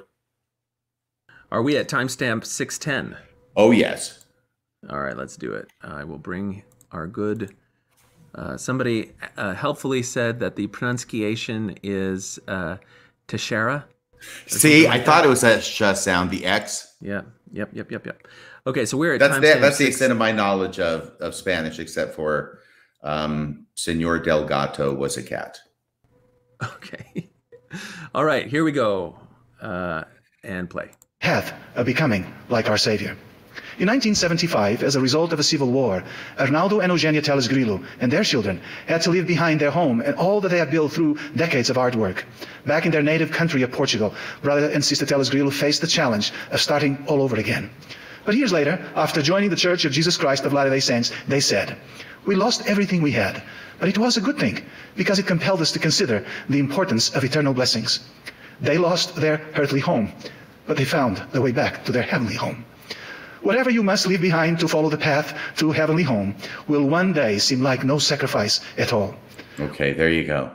So nobody dies here except for all the people who died in the Civil War. But as far as Arnaldo and Eugenia uh, and their children, apparently they don't die, but they lose everything. They have to flee their country. And then years later, they end up joining the church and they ascribe uh, the loss of everything that they had uh, to being necessary for them to join the church. Yeah, it's another story where uh, loss and tragedy are justified by them leading you into the promised land of membership in the church. And not only that, but then you won't regret anything that you lost because of it. Right, and by the way, this this takes on a huge. Uh, it's like the the story about the drowning of Anne. Excuse me, mm-hmm. that was told by the previous speaker. But this is actually ups the ante considerably because now God doesn't just kill one little kid in order to get the family years later to join the church and become Mormons. Right? He actually causes an entire civil war in this story with countless people getting killed and injured and maimed and everything else that goes along with the horrors of war, especially a civil war for crying out loud. But God causes or allows the civil war so that this one family can join the church. Now that's commitment. now come on, that's that's a little too cynical of a read of this entire thing, RFM. They just happened to be there in the Civil War. The Civil War could have been caused by any number of other things. It wasn't specifically so this family could get converted. Well, apparently he said, as was quoted in the talk, we lost everything we had, but it was a good thing because it compelled us to consider the importance of eternal blessings. They lost yeah. their earthly home, but they found the way back to their heavenly home. I'm having trouble reading it any other way, cynical or not, Jonathan. well, I, I, think it's one thing to say that they made the best out of a tragedy, but it's another thing to say that the tragedy of the entire nation was inflicted on them so that this one family could learn the value of heavenly blessings. But that being said, I'm just I have to push back on you at some point so that I don't let the dark cloud of your cynicism take over the entire thing. Otherwise, I'll just steamroll through this. But th- I mean, are you getting the, the sense now? Are you getting the flavor of why it is that after the Sunday morning Easter session of General Conference, you come out of it and you're feeling like your feet are dragging yeah. and your, your head's down and you're going, oh my gosh, I just feel so horrible now. I don't know why after hearing about all these terrible stories, but I feel really bad after General Conference. That's how I well, felt it's, anyway. Yeah, no, I hear you. The, the thing that he says at the end where he says, you know, whatever you've left behind will seem like no sacrifice at all because you've come to God's graces, you're doing what God wants you to do. And, and I'm reminded of the price that people pay throughout their entire life to conform to the religious edicts of these groups. And the story here may seem good, but just take that same principle and see how Jehovah's Witnesses do it, where for them, the challenge of their faith is oh no, their kid's been in a car accident. He's bleeding out. The doctors have come to me and said, we need to give him blood. But because my leaders have told me that Jehovah does not want us to take blood products, then I'm going to say, no, it's against my religion. My devotion to Jehovah is stronger than my desire to see my child healed. And so, as the test of my faith, as a sign of my devotion, I'm going to say no, because obedience is the first law obedience to God. And it's the same exact paradigm. And then, when those people who that has happened to then later learn that the claimed authority of the Jehovah's Witnesses was was was fake and made up and then they look back on that choice, even though for a period of time, that choice may have been like it's no sacrifice at all. Suddenly they realize that they gave up something that was dear and precious to them in this world because of a delusion and a manipulation. And they it will seem like a great sacrifice, like the greatest sacrifice. And just transpose that back now onto Mormonism. If in fact the men claiming these authorities telling you how you have to shape your life around it, if their claim to legitimate authority is false, then suddenly these things that you've sacrificed will actually seem like a great sacrifice because you were sacrificing them to a delusion, not to uh, objective reality, not to your own personal priorities and values. And so that's a big thing. That's why this question of history, uh, you know, are their claimed authorities real? Is there contradictions that impeach their claim to authority? All that is very important because it changes how you contextualize these things that you have sacrificed in your life in devotion and obedience to these men. So that's my rant on that. Hmm, those are great points. Those are great points. If you can go to timestamp 4.20 in the same talk. Now, this is the guy who didn't get the memo about not talking about the, the worldwide fasting and prayer. He's the one guy, and even when he was giving this talk and I was listening to it live on Easter morning, uh, it, it jolted me. I thought, what, what are you doing? What, you're not supposed to be talking about this. Nobody else is talking about this. But he does do it in sort of a faith promoting way. So at timestamp 4.20, here's what he no, has to we, say. We've we've already done timestamp 420 on this guy. Have we? That was that was with the single touch or voice command. Oh no, no, I'm so sorry. It is in the next talk. So My apologies. I a scrolled down. This of. is God Loves His Children by Taniela B. Yeah, Wakolo. that is. Uh, that okay. So you've gone on to God loves His children, Wakolo. I had not yet shifted there yet. So let me do that, and we'll go to time 420. I am racing ahead of you. I am a dot on the horizon. So 4.20 in the talk. Um, God loves his children. All right, here we go. Taniela All his children. Recently, the words of President Nelson have been a source of strength and inspiration to the people of the Philippines. As with every country in the world, during 2020, the Philippines was severely affected by the COVID-19 pandemic, as well as a volcanic eruption, earthquakes, typhoons, and devastating floods. But like a pillar of light shining through dark clouds of fear, loneliness, and despair, came the words of the prophet. It included the call for worldwide fasting and prayer, and counsel to move forward despite the pandemic. He invited us to make our homes personal sanctuaries of faith. He called upon Latter-day Saints everywhere to respect all of God's children and to let God prevail in our lives. There you go. You know what's interesting is that some of these speakers actually from Africa tend to be energetic and actually speak at a regular tone of voice, such that when you increase the the rate, which I know you've been doing, uh, it sounds really rushed like that one, and that's fine. That's fine. All I'm noticing is that the the normal speakers that we usually have, like the apostles and everything, they speak so slowly that when you speed it up, they sound normal. And these guys sound normal when they're talking. So when you speed it up, it sounds a little bit fast. Anyway, here's his mention of it, right? He says, but like a pillar of light shining through. Oh, by the way, he talks about Philippines first, which is, I think, where he's from. Um, with every country in the world during 2020, the Philippines was severely affected by the COVID 19 pandemic. But don't you guys be complaining because not only did we have the pandemic like everywhere else, we also had a volcanic eruption, earthquakes, strong typhoons, and devastating floods. And by the way, apparently none of these were turned back by any kind of divine intervention. But then he says, Here came the words of the prophet like a pillar of light shining through dark clouds of fear, loneliness, and despair. They included the call for worldwide fasting and prayer. That's where he mentioned it, right? Yeah. Inclu- he doesn't say he doesn't say what it was for, by the way. Okay. So he's getting kind of close to the cliff, but he's still staying far enough away. He's not going to fall over. He doesn't say what the worldwide fasting and prayer was for, but then he says, and counsel. This is all one sentence, and counsel to move forward despite the pandemic. Now, that's a wonderful sentence because in this one sentence, there's these two conflicting things. The first is the worldwide days of fasting and prayer, right? To turn back the pandemic. That was the first part of the counsel. And then the second part of the counsel is well, when that didn't work, to move forward despite the pandemic. Yep. Yep. Mm-hmm. okay. So uh, let's see here. Um, it's it's another one of those switch things where like you know ahead of time when we're, we're fasting for healing and for recovery from this pandemic and then afterwards it's well we fasted so that we'd be able to deal with the tragedy of the pandemic Yes. What he doesn't say is that the counsel to move forward despite the pandemic was given only after the two days of fasting and prayer didn't work. mm-hmm. Okay, so now we get to the same talk now. I'm pretty sure. Same talk, timestamp 6.27. Oh, another horrible story.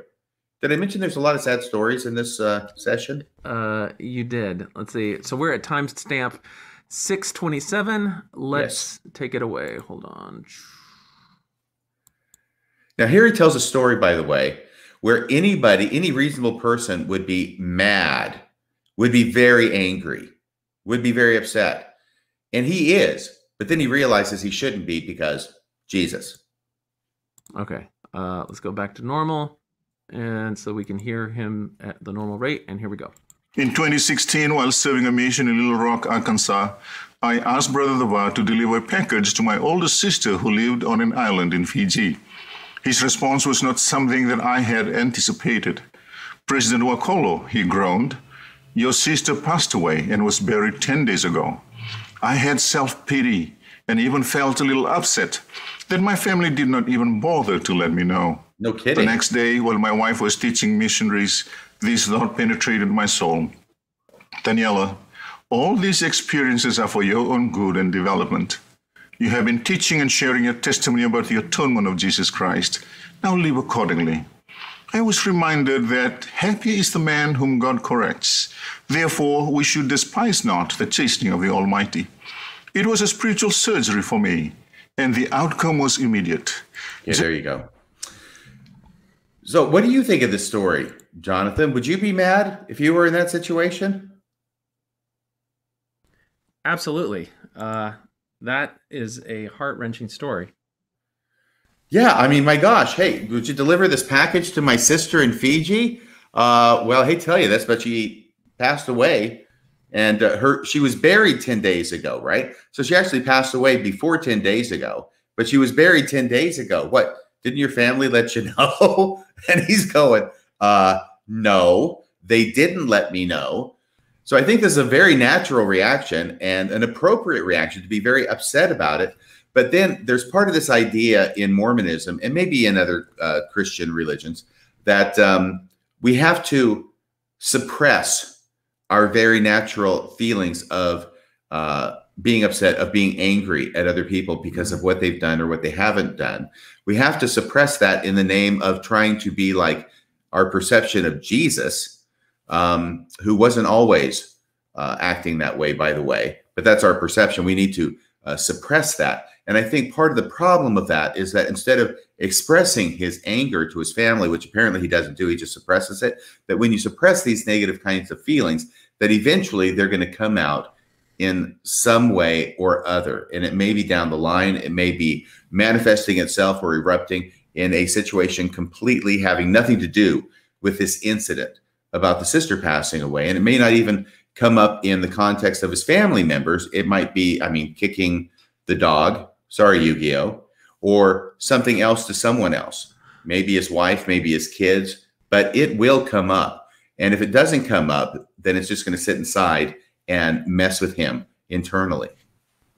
Yeah. And, you know, it, it, strikes me, he's talking about just a handful of years ago when he was a mission president. And we all have heard stories of missionaries, young men, who go out and then some tragedy happens back home. And there, there's this struggle. Do I go back home and leave my mission? Do I stay on my mission? You know, the, the, the missionary who's out and his mother passes away or something like that. And there's always this thing, I think, um, where the the priorities then come to a head uh, because you have a young man who has to choose between what should be a very high priority in terms of taking care of his grieving family, being there in their moment of loss, um, sharing that experience, that major life milestone with them, or being out and serving the Lord in their mission. And and they're kind of put in this bind where if they choose to prioritize their family, then what they're doing is they're saying that they're selfish and they're not really committed to God. Yeah, and I'm and, familiar. Well, go ahead. I'm sorry. Go ahead. Well, I, what are your thoughts on that? Because I, I've heard that story over and over again. Yeah, and let's just go ahead and be honest, okay? As two members of the church um, who have a little bit of time under our belt, we've heard of these things happening. We may have experienced them or seen other people go through them. We know what the righteous response is. Mm-hmm. The righteous response is you stay on your mission. Yeah. And it may be said, oh, well, you know, it's okay, you have a choice, but we know what the righteous choice is. We stay on our mission and let the funeral go on without us. That's the righteous choice. And if you take the choice of going home for the funeral, it's understandable, but it is not as righteous. Yeah.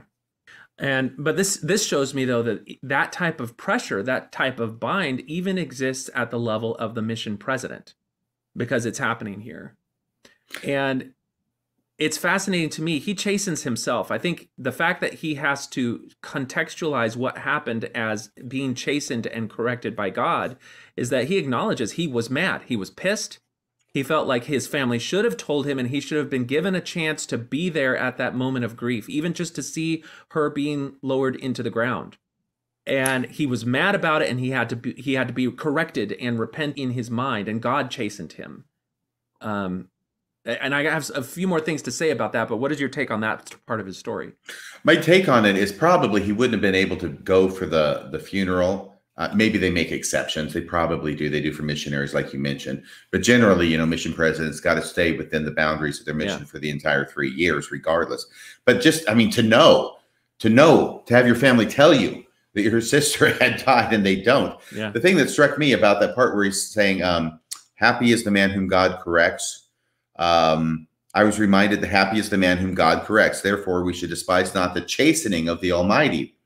And I want to tell this brother, if I could speak to him directly, I would say, you know, it's okay to be mad at your family for not telling you your sister had passed away and was buried 10 days ago. And then my other question is, why do you see this as God correcting you? I mean, you're not the one who died. Yeah. Yeah. So the the the, the other uh, point that this struck me as was um, the the fake apology on racism that I published a few years ago. To you much, did that. Uh, you did that. ha. Um, one of the aspects that I included was a context for the prophets of the church themselves to be corrected and to find in that correction further affirmation of faith. And so, this concept, if you go back and read the words of that apology, it was put there very specifically, which is that whom the Lord loveth, he chasteneth.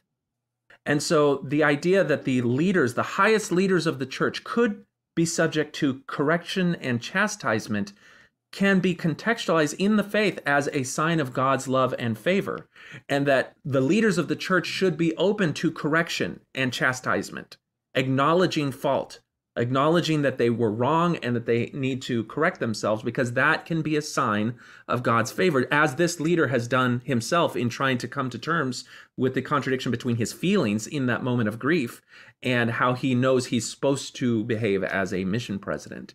But um, that's just where, you know, these things can get a certain level of understanding, but if you don't apply them in all different levels, then they lose some of their efficacy as a um, as a religion that could grab onto some helpful aspects of right, the scriptural cer- tradition. Yeah, we certainly trot out the story of Joseph Smith being chastised by the Lord for losing the 116 pages often enough, enough don't we? Yeah, and, and, which brings brings me to my mind. I think when he's saying these experiences are for your own good and development, he's invoking a little bit of the uh, the letter from Liberty Jail, which had that same type of sentiment to give strength to Joseph Smith when he felt like God had deserted him. Yes. It also leads you to the fact that if you're faithful and bad things happen to you, then it's because God loves you. Yeah. It's a win-win for the church. It's totally and a win-win for God. If if yeah. good things are happening, God loves you. If bad things are happening, he loves you because God chastens whom he loves. Yeah. Okay, maybe we can get through this next talk by the end because we're at 8:43 by my time and that's probably yeah. 10:43 by your time. Mm-hmm. Yep, yep, yep. This is Elder Chi Hong Wong, and apparently he goes by the nickname Sam because that's there in parentheses. And his talk is They Cannot Prevail, We Cannot Fall. I guess all the good titles were taken. So here, here he goes down to timestamp 5.55, and here he gives a little um, paragraph about how all consuming Mormonism is in the lives of its members, at least its good members. Okay, let's take a look. All right, we're going to go to timestamp 555. Brothers in oh, wait, hold on. Pandemic. That's, that's the old one. Uh, there we go. Our cannot. How we. All right, 555. Some of us may think the gospel is good, so we need to put it in our lives. Maybe once a week just going to church once a week is not enough to build upon the rock. our entire life should be filled with the gospel of Jesus Christ. Did you slow this down, Jonathan? The gospel is not part of our lives, but our lives is actually part of the gospel of Jesus Christ. Think about it. Is that not true? Our mortal life is only part of the whole plan of salvation and exaltation. Okay, stop, stop. You're killing me. This is is like a water torture that you're putting me through here. Did you slow that down?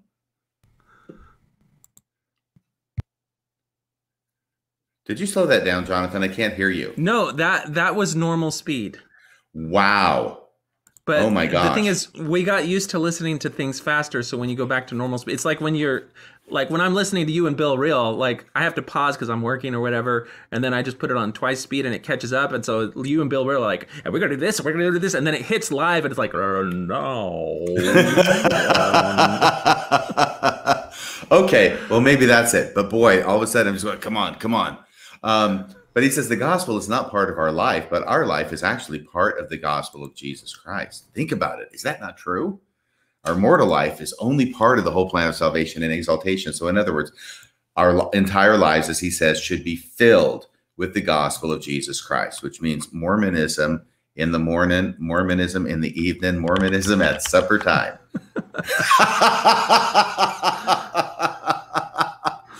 okay, so well, anytime, anytime, he, like, so there's this great clip from Elder Bednar that I think this guy is probably inspired from. That I, I just, I have to um, bring does it up. have to do with a pickle? No, thank goodness. But let's take a look of it because it, it, it tells him, it tells us where he got this from a little bit. Church of Jesus Christ is not a social organization. And it's not just about what we do for Sunday. It can and it should be. The doctrine, the authority, ordinance, and covenants are the central focus of our lives. If they are not, I urge you to consider your ways. Being a member of this church affects everything. Where you go, where you don't go. What you think, what you don't think. What you speak, what you don't speak. What you eat, what you drink, what you wear. There is no aspect of your life, 24-7, that is influenced by your discipleship and devotion to the Lord Jesus Christ. It is less than that, you are living far below your privileges in the gospel. It is not a burden. It is not a chore. It is the only source of enduring joy, purpose, and direction.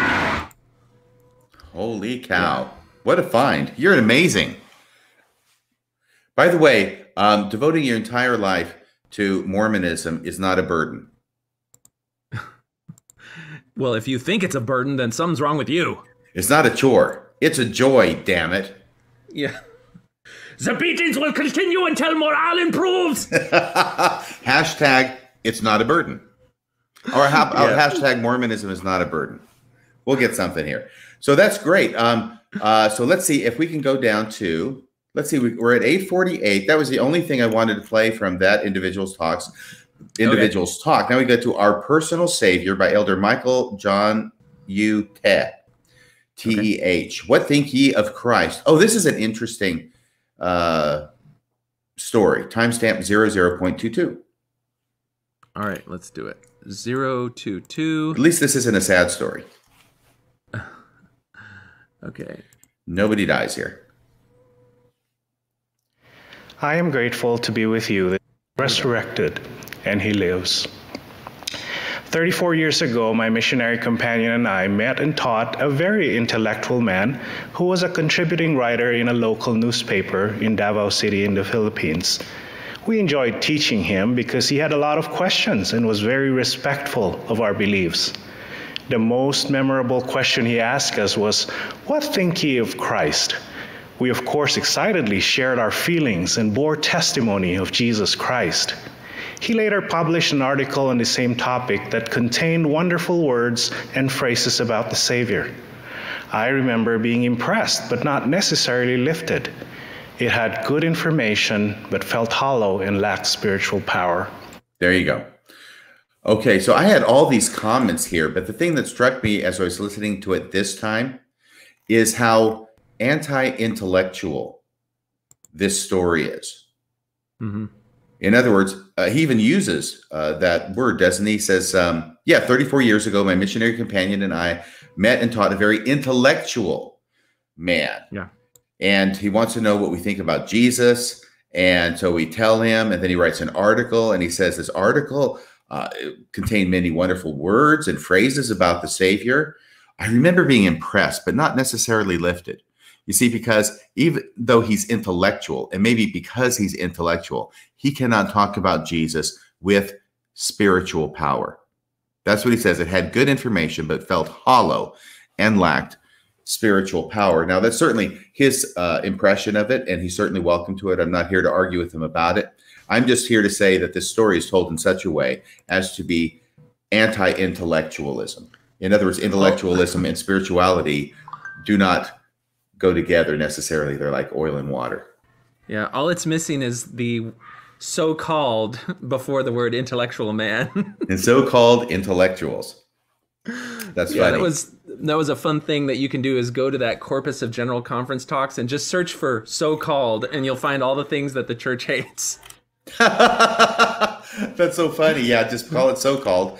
You know, there's other things going on here. We only have nine minutes, but one of the things that's going on here is this idea that um, you know anything the church does is perfect by virtue of the fact that it's the church doing it. Okay. Mm-hmm. So if President Nelson is saying, "Oh, I'll see your mother in, you know, this the spirit world," right? That's fantastic. Oh my gosh, that's amazing. But if somebody who's not a member but who's intellectual writes about the Savior, ah, sorry, no spiritual power there. So let me just say is that we set up a paradigm where only what is said by leaders can lift us.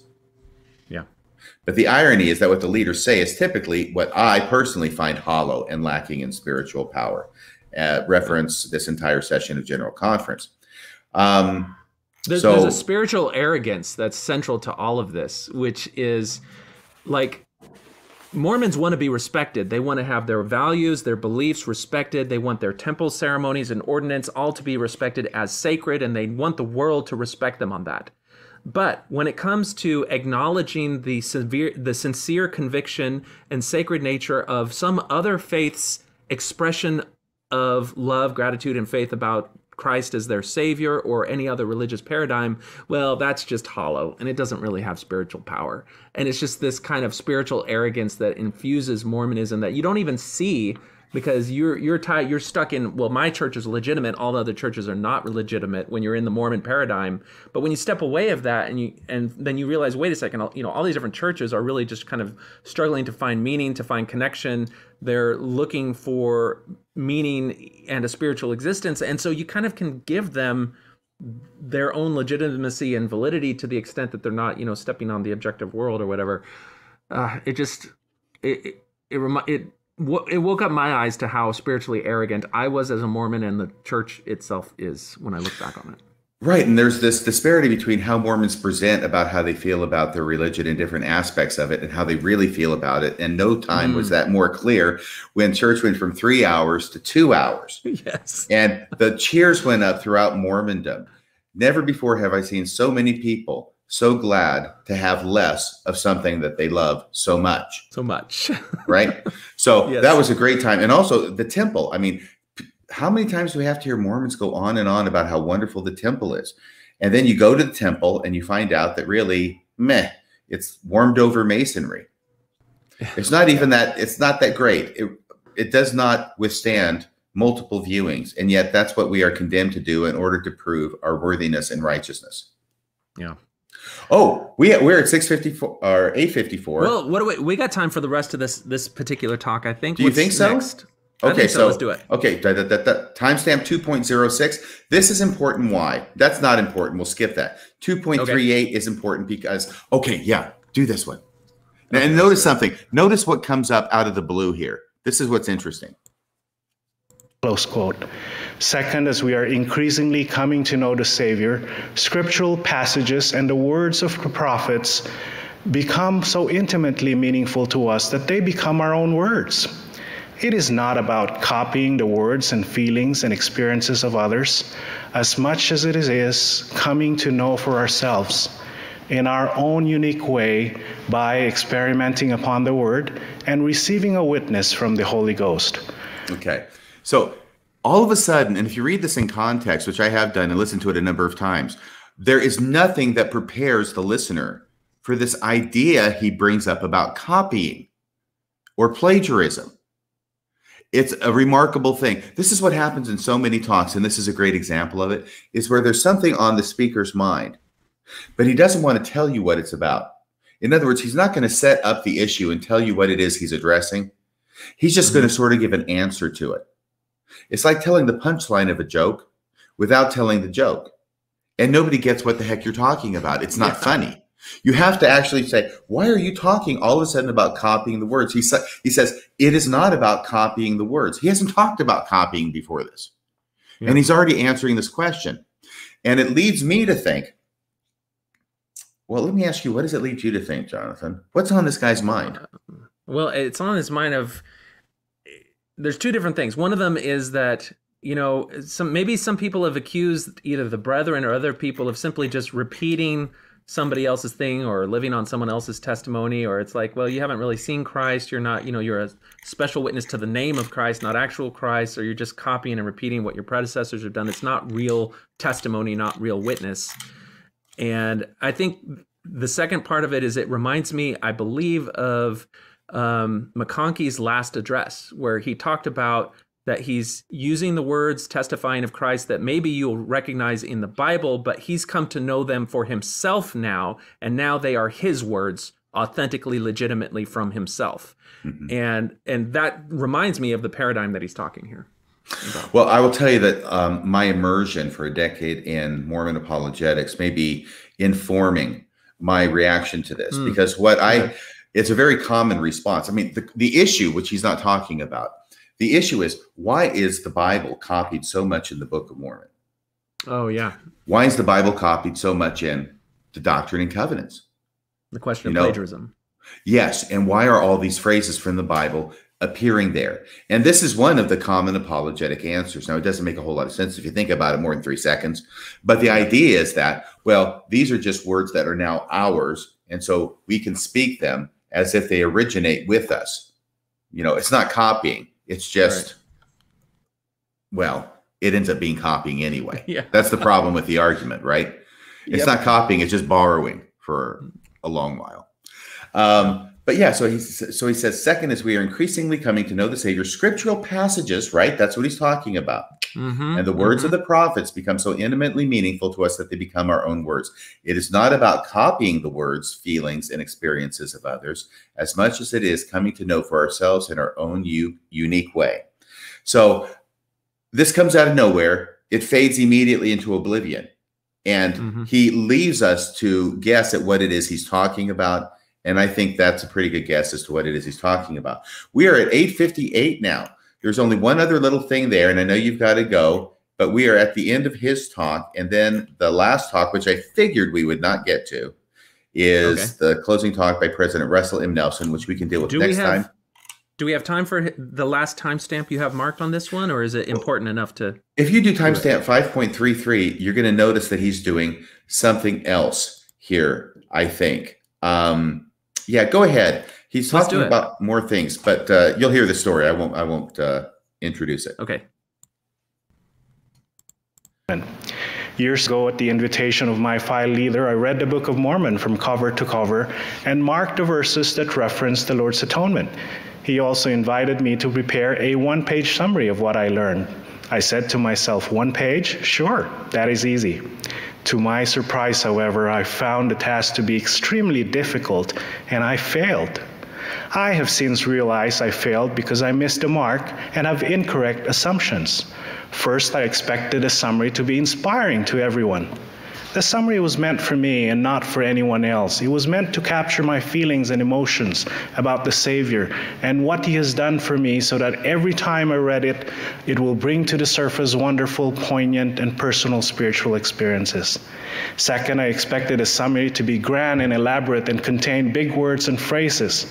It was never about big words, it was meant to be a clear and simple declaration of conviction quote, For my soul delighteth in plainness, for after his manner that the Lord God work among the children of men, for the Lord God giveth light unto the understanding.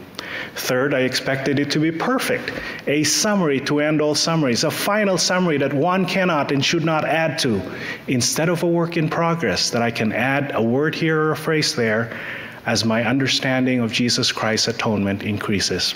There you go. And so that was his story. Now, this is a strange story, and I won't belabor the point here, okay? But we could analyze this for longer time than we have. But why is he telling this story, I wonder? And why is he making these strange assumptions about a one page summary? A one page seems incredibly short for a summary of, uh, if you read the Book of Mormon cover to cover and mark all the verses that reference the Lord's atonement, oh, into a one page summary. That sounds pretty darn difficult. But he says he failed, and he failed for three reasons. And what I'm wondering here is is he talking only about his summary, or is he extending the lessons he learned from failing in writing the summary to issues that might be raised regarding the Book of Mormon? Okay.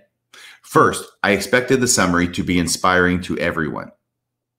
What do we do with people who read the Book of Mormon and pray about it and don't feel the gift of the Holy Ghost or the Holy Ghost testifying to them? Well, it's not inspiring to everyone. Okay. I expected the summary to be inspiring to everyone. Two, second, I expected the summary to be grand and elaborate and contain big words and phrases. Okay, so maybe the Book of Mormon, especially in the original form, the 1830 original version, uh, has backwards rustic syntax, vocabulary, mm-hmm. and spelling. So, and even quotes from the Book of Mormon there in support of the idea that my soul delighteth in plainness, right? And then third, which is also, I think, most interesting, third, I expected it to be perfect. A summary to end all summaries. I don't know why he would expect that. A final summary that one cannot and should not add to, instead of a work in progress to which I can add a word here or a phrase there as my understanding of Jesus Christ's atonement increases.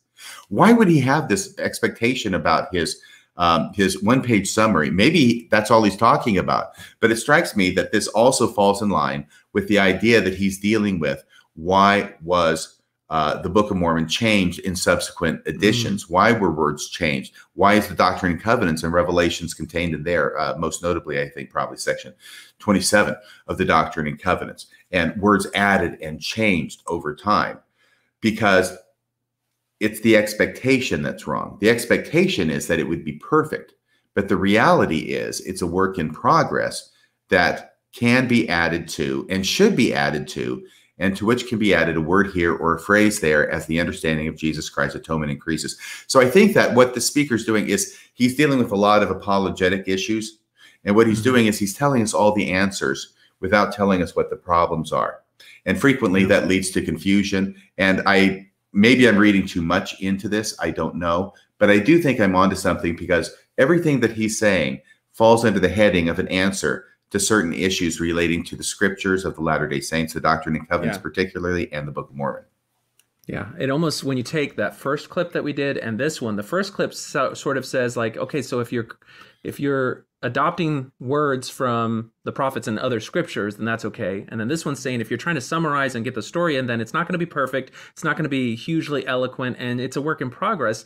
Now that's kind of setting the groundwork for us in the future saying, well, maybe the Book of Mormon, like the Book of Abraham, was an act of um, you know this this catalyst theory where uh, he was inspired to write it. It wasn't a direct translation, and therefore all of these different caveats apply. And then we can even take um, the Givens idea of bricolage, where he's taking bits from Scripture and from other things, assembling them together into something that points to Christ and has all of these very human, very real failings. And we can now see the Book of Mormon as Scripture produced in that mode rather than a literal translation, and it, it all makes sense. So I can I can hear that there. That was a brilliant summary. I have nothing that I could right. add to that. okay, well, we are getting to the end. I do want to uh, close with I was able to find that image of Pastor Bob of, of Pastor Bob because you got this is just such a brilliant cartoon.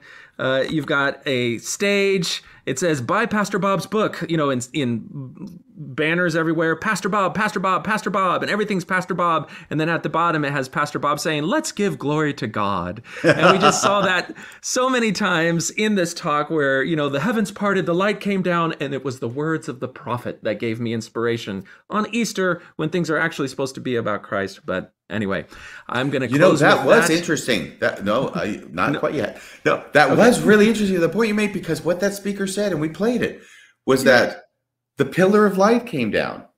Who's in the pillar of light? It's Jesus in 1832, and by 1838, it's God and Jesus. It's God, and then the pillar of light that comes down is the words of President Nelson. Yes, exactly. This is the apotheosis of Russell M. Nelson. Yeah, and just you know, as soon as he kicks the bucket, it'll be the apotheosis of the next guy. So, Oh, yeah, all right. Well, I got to close it down. And uh, thank you again. And next time we will catch President Nelson's final remarks and then It's a good the one. afternoon session. All right, excellent. So until next time, this has been Thoughts on Things and Stuff, hashtag lazy learners.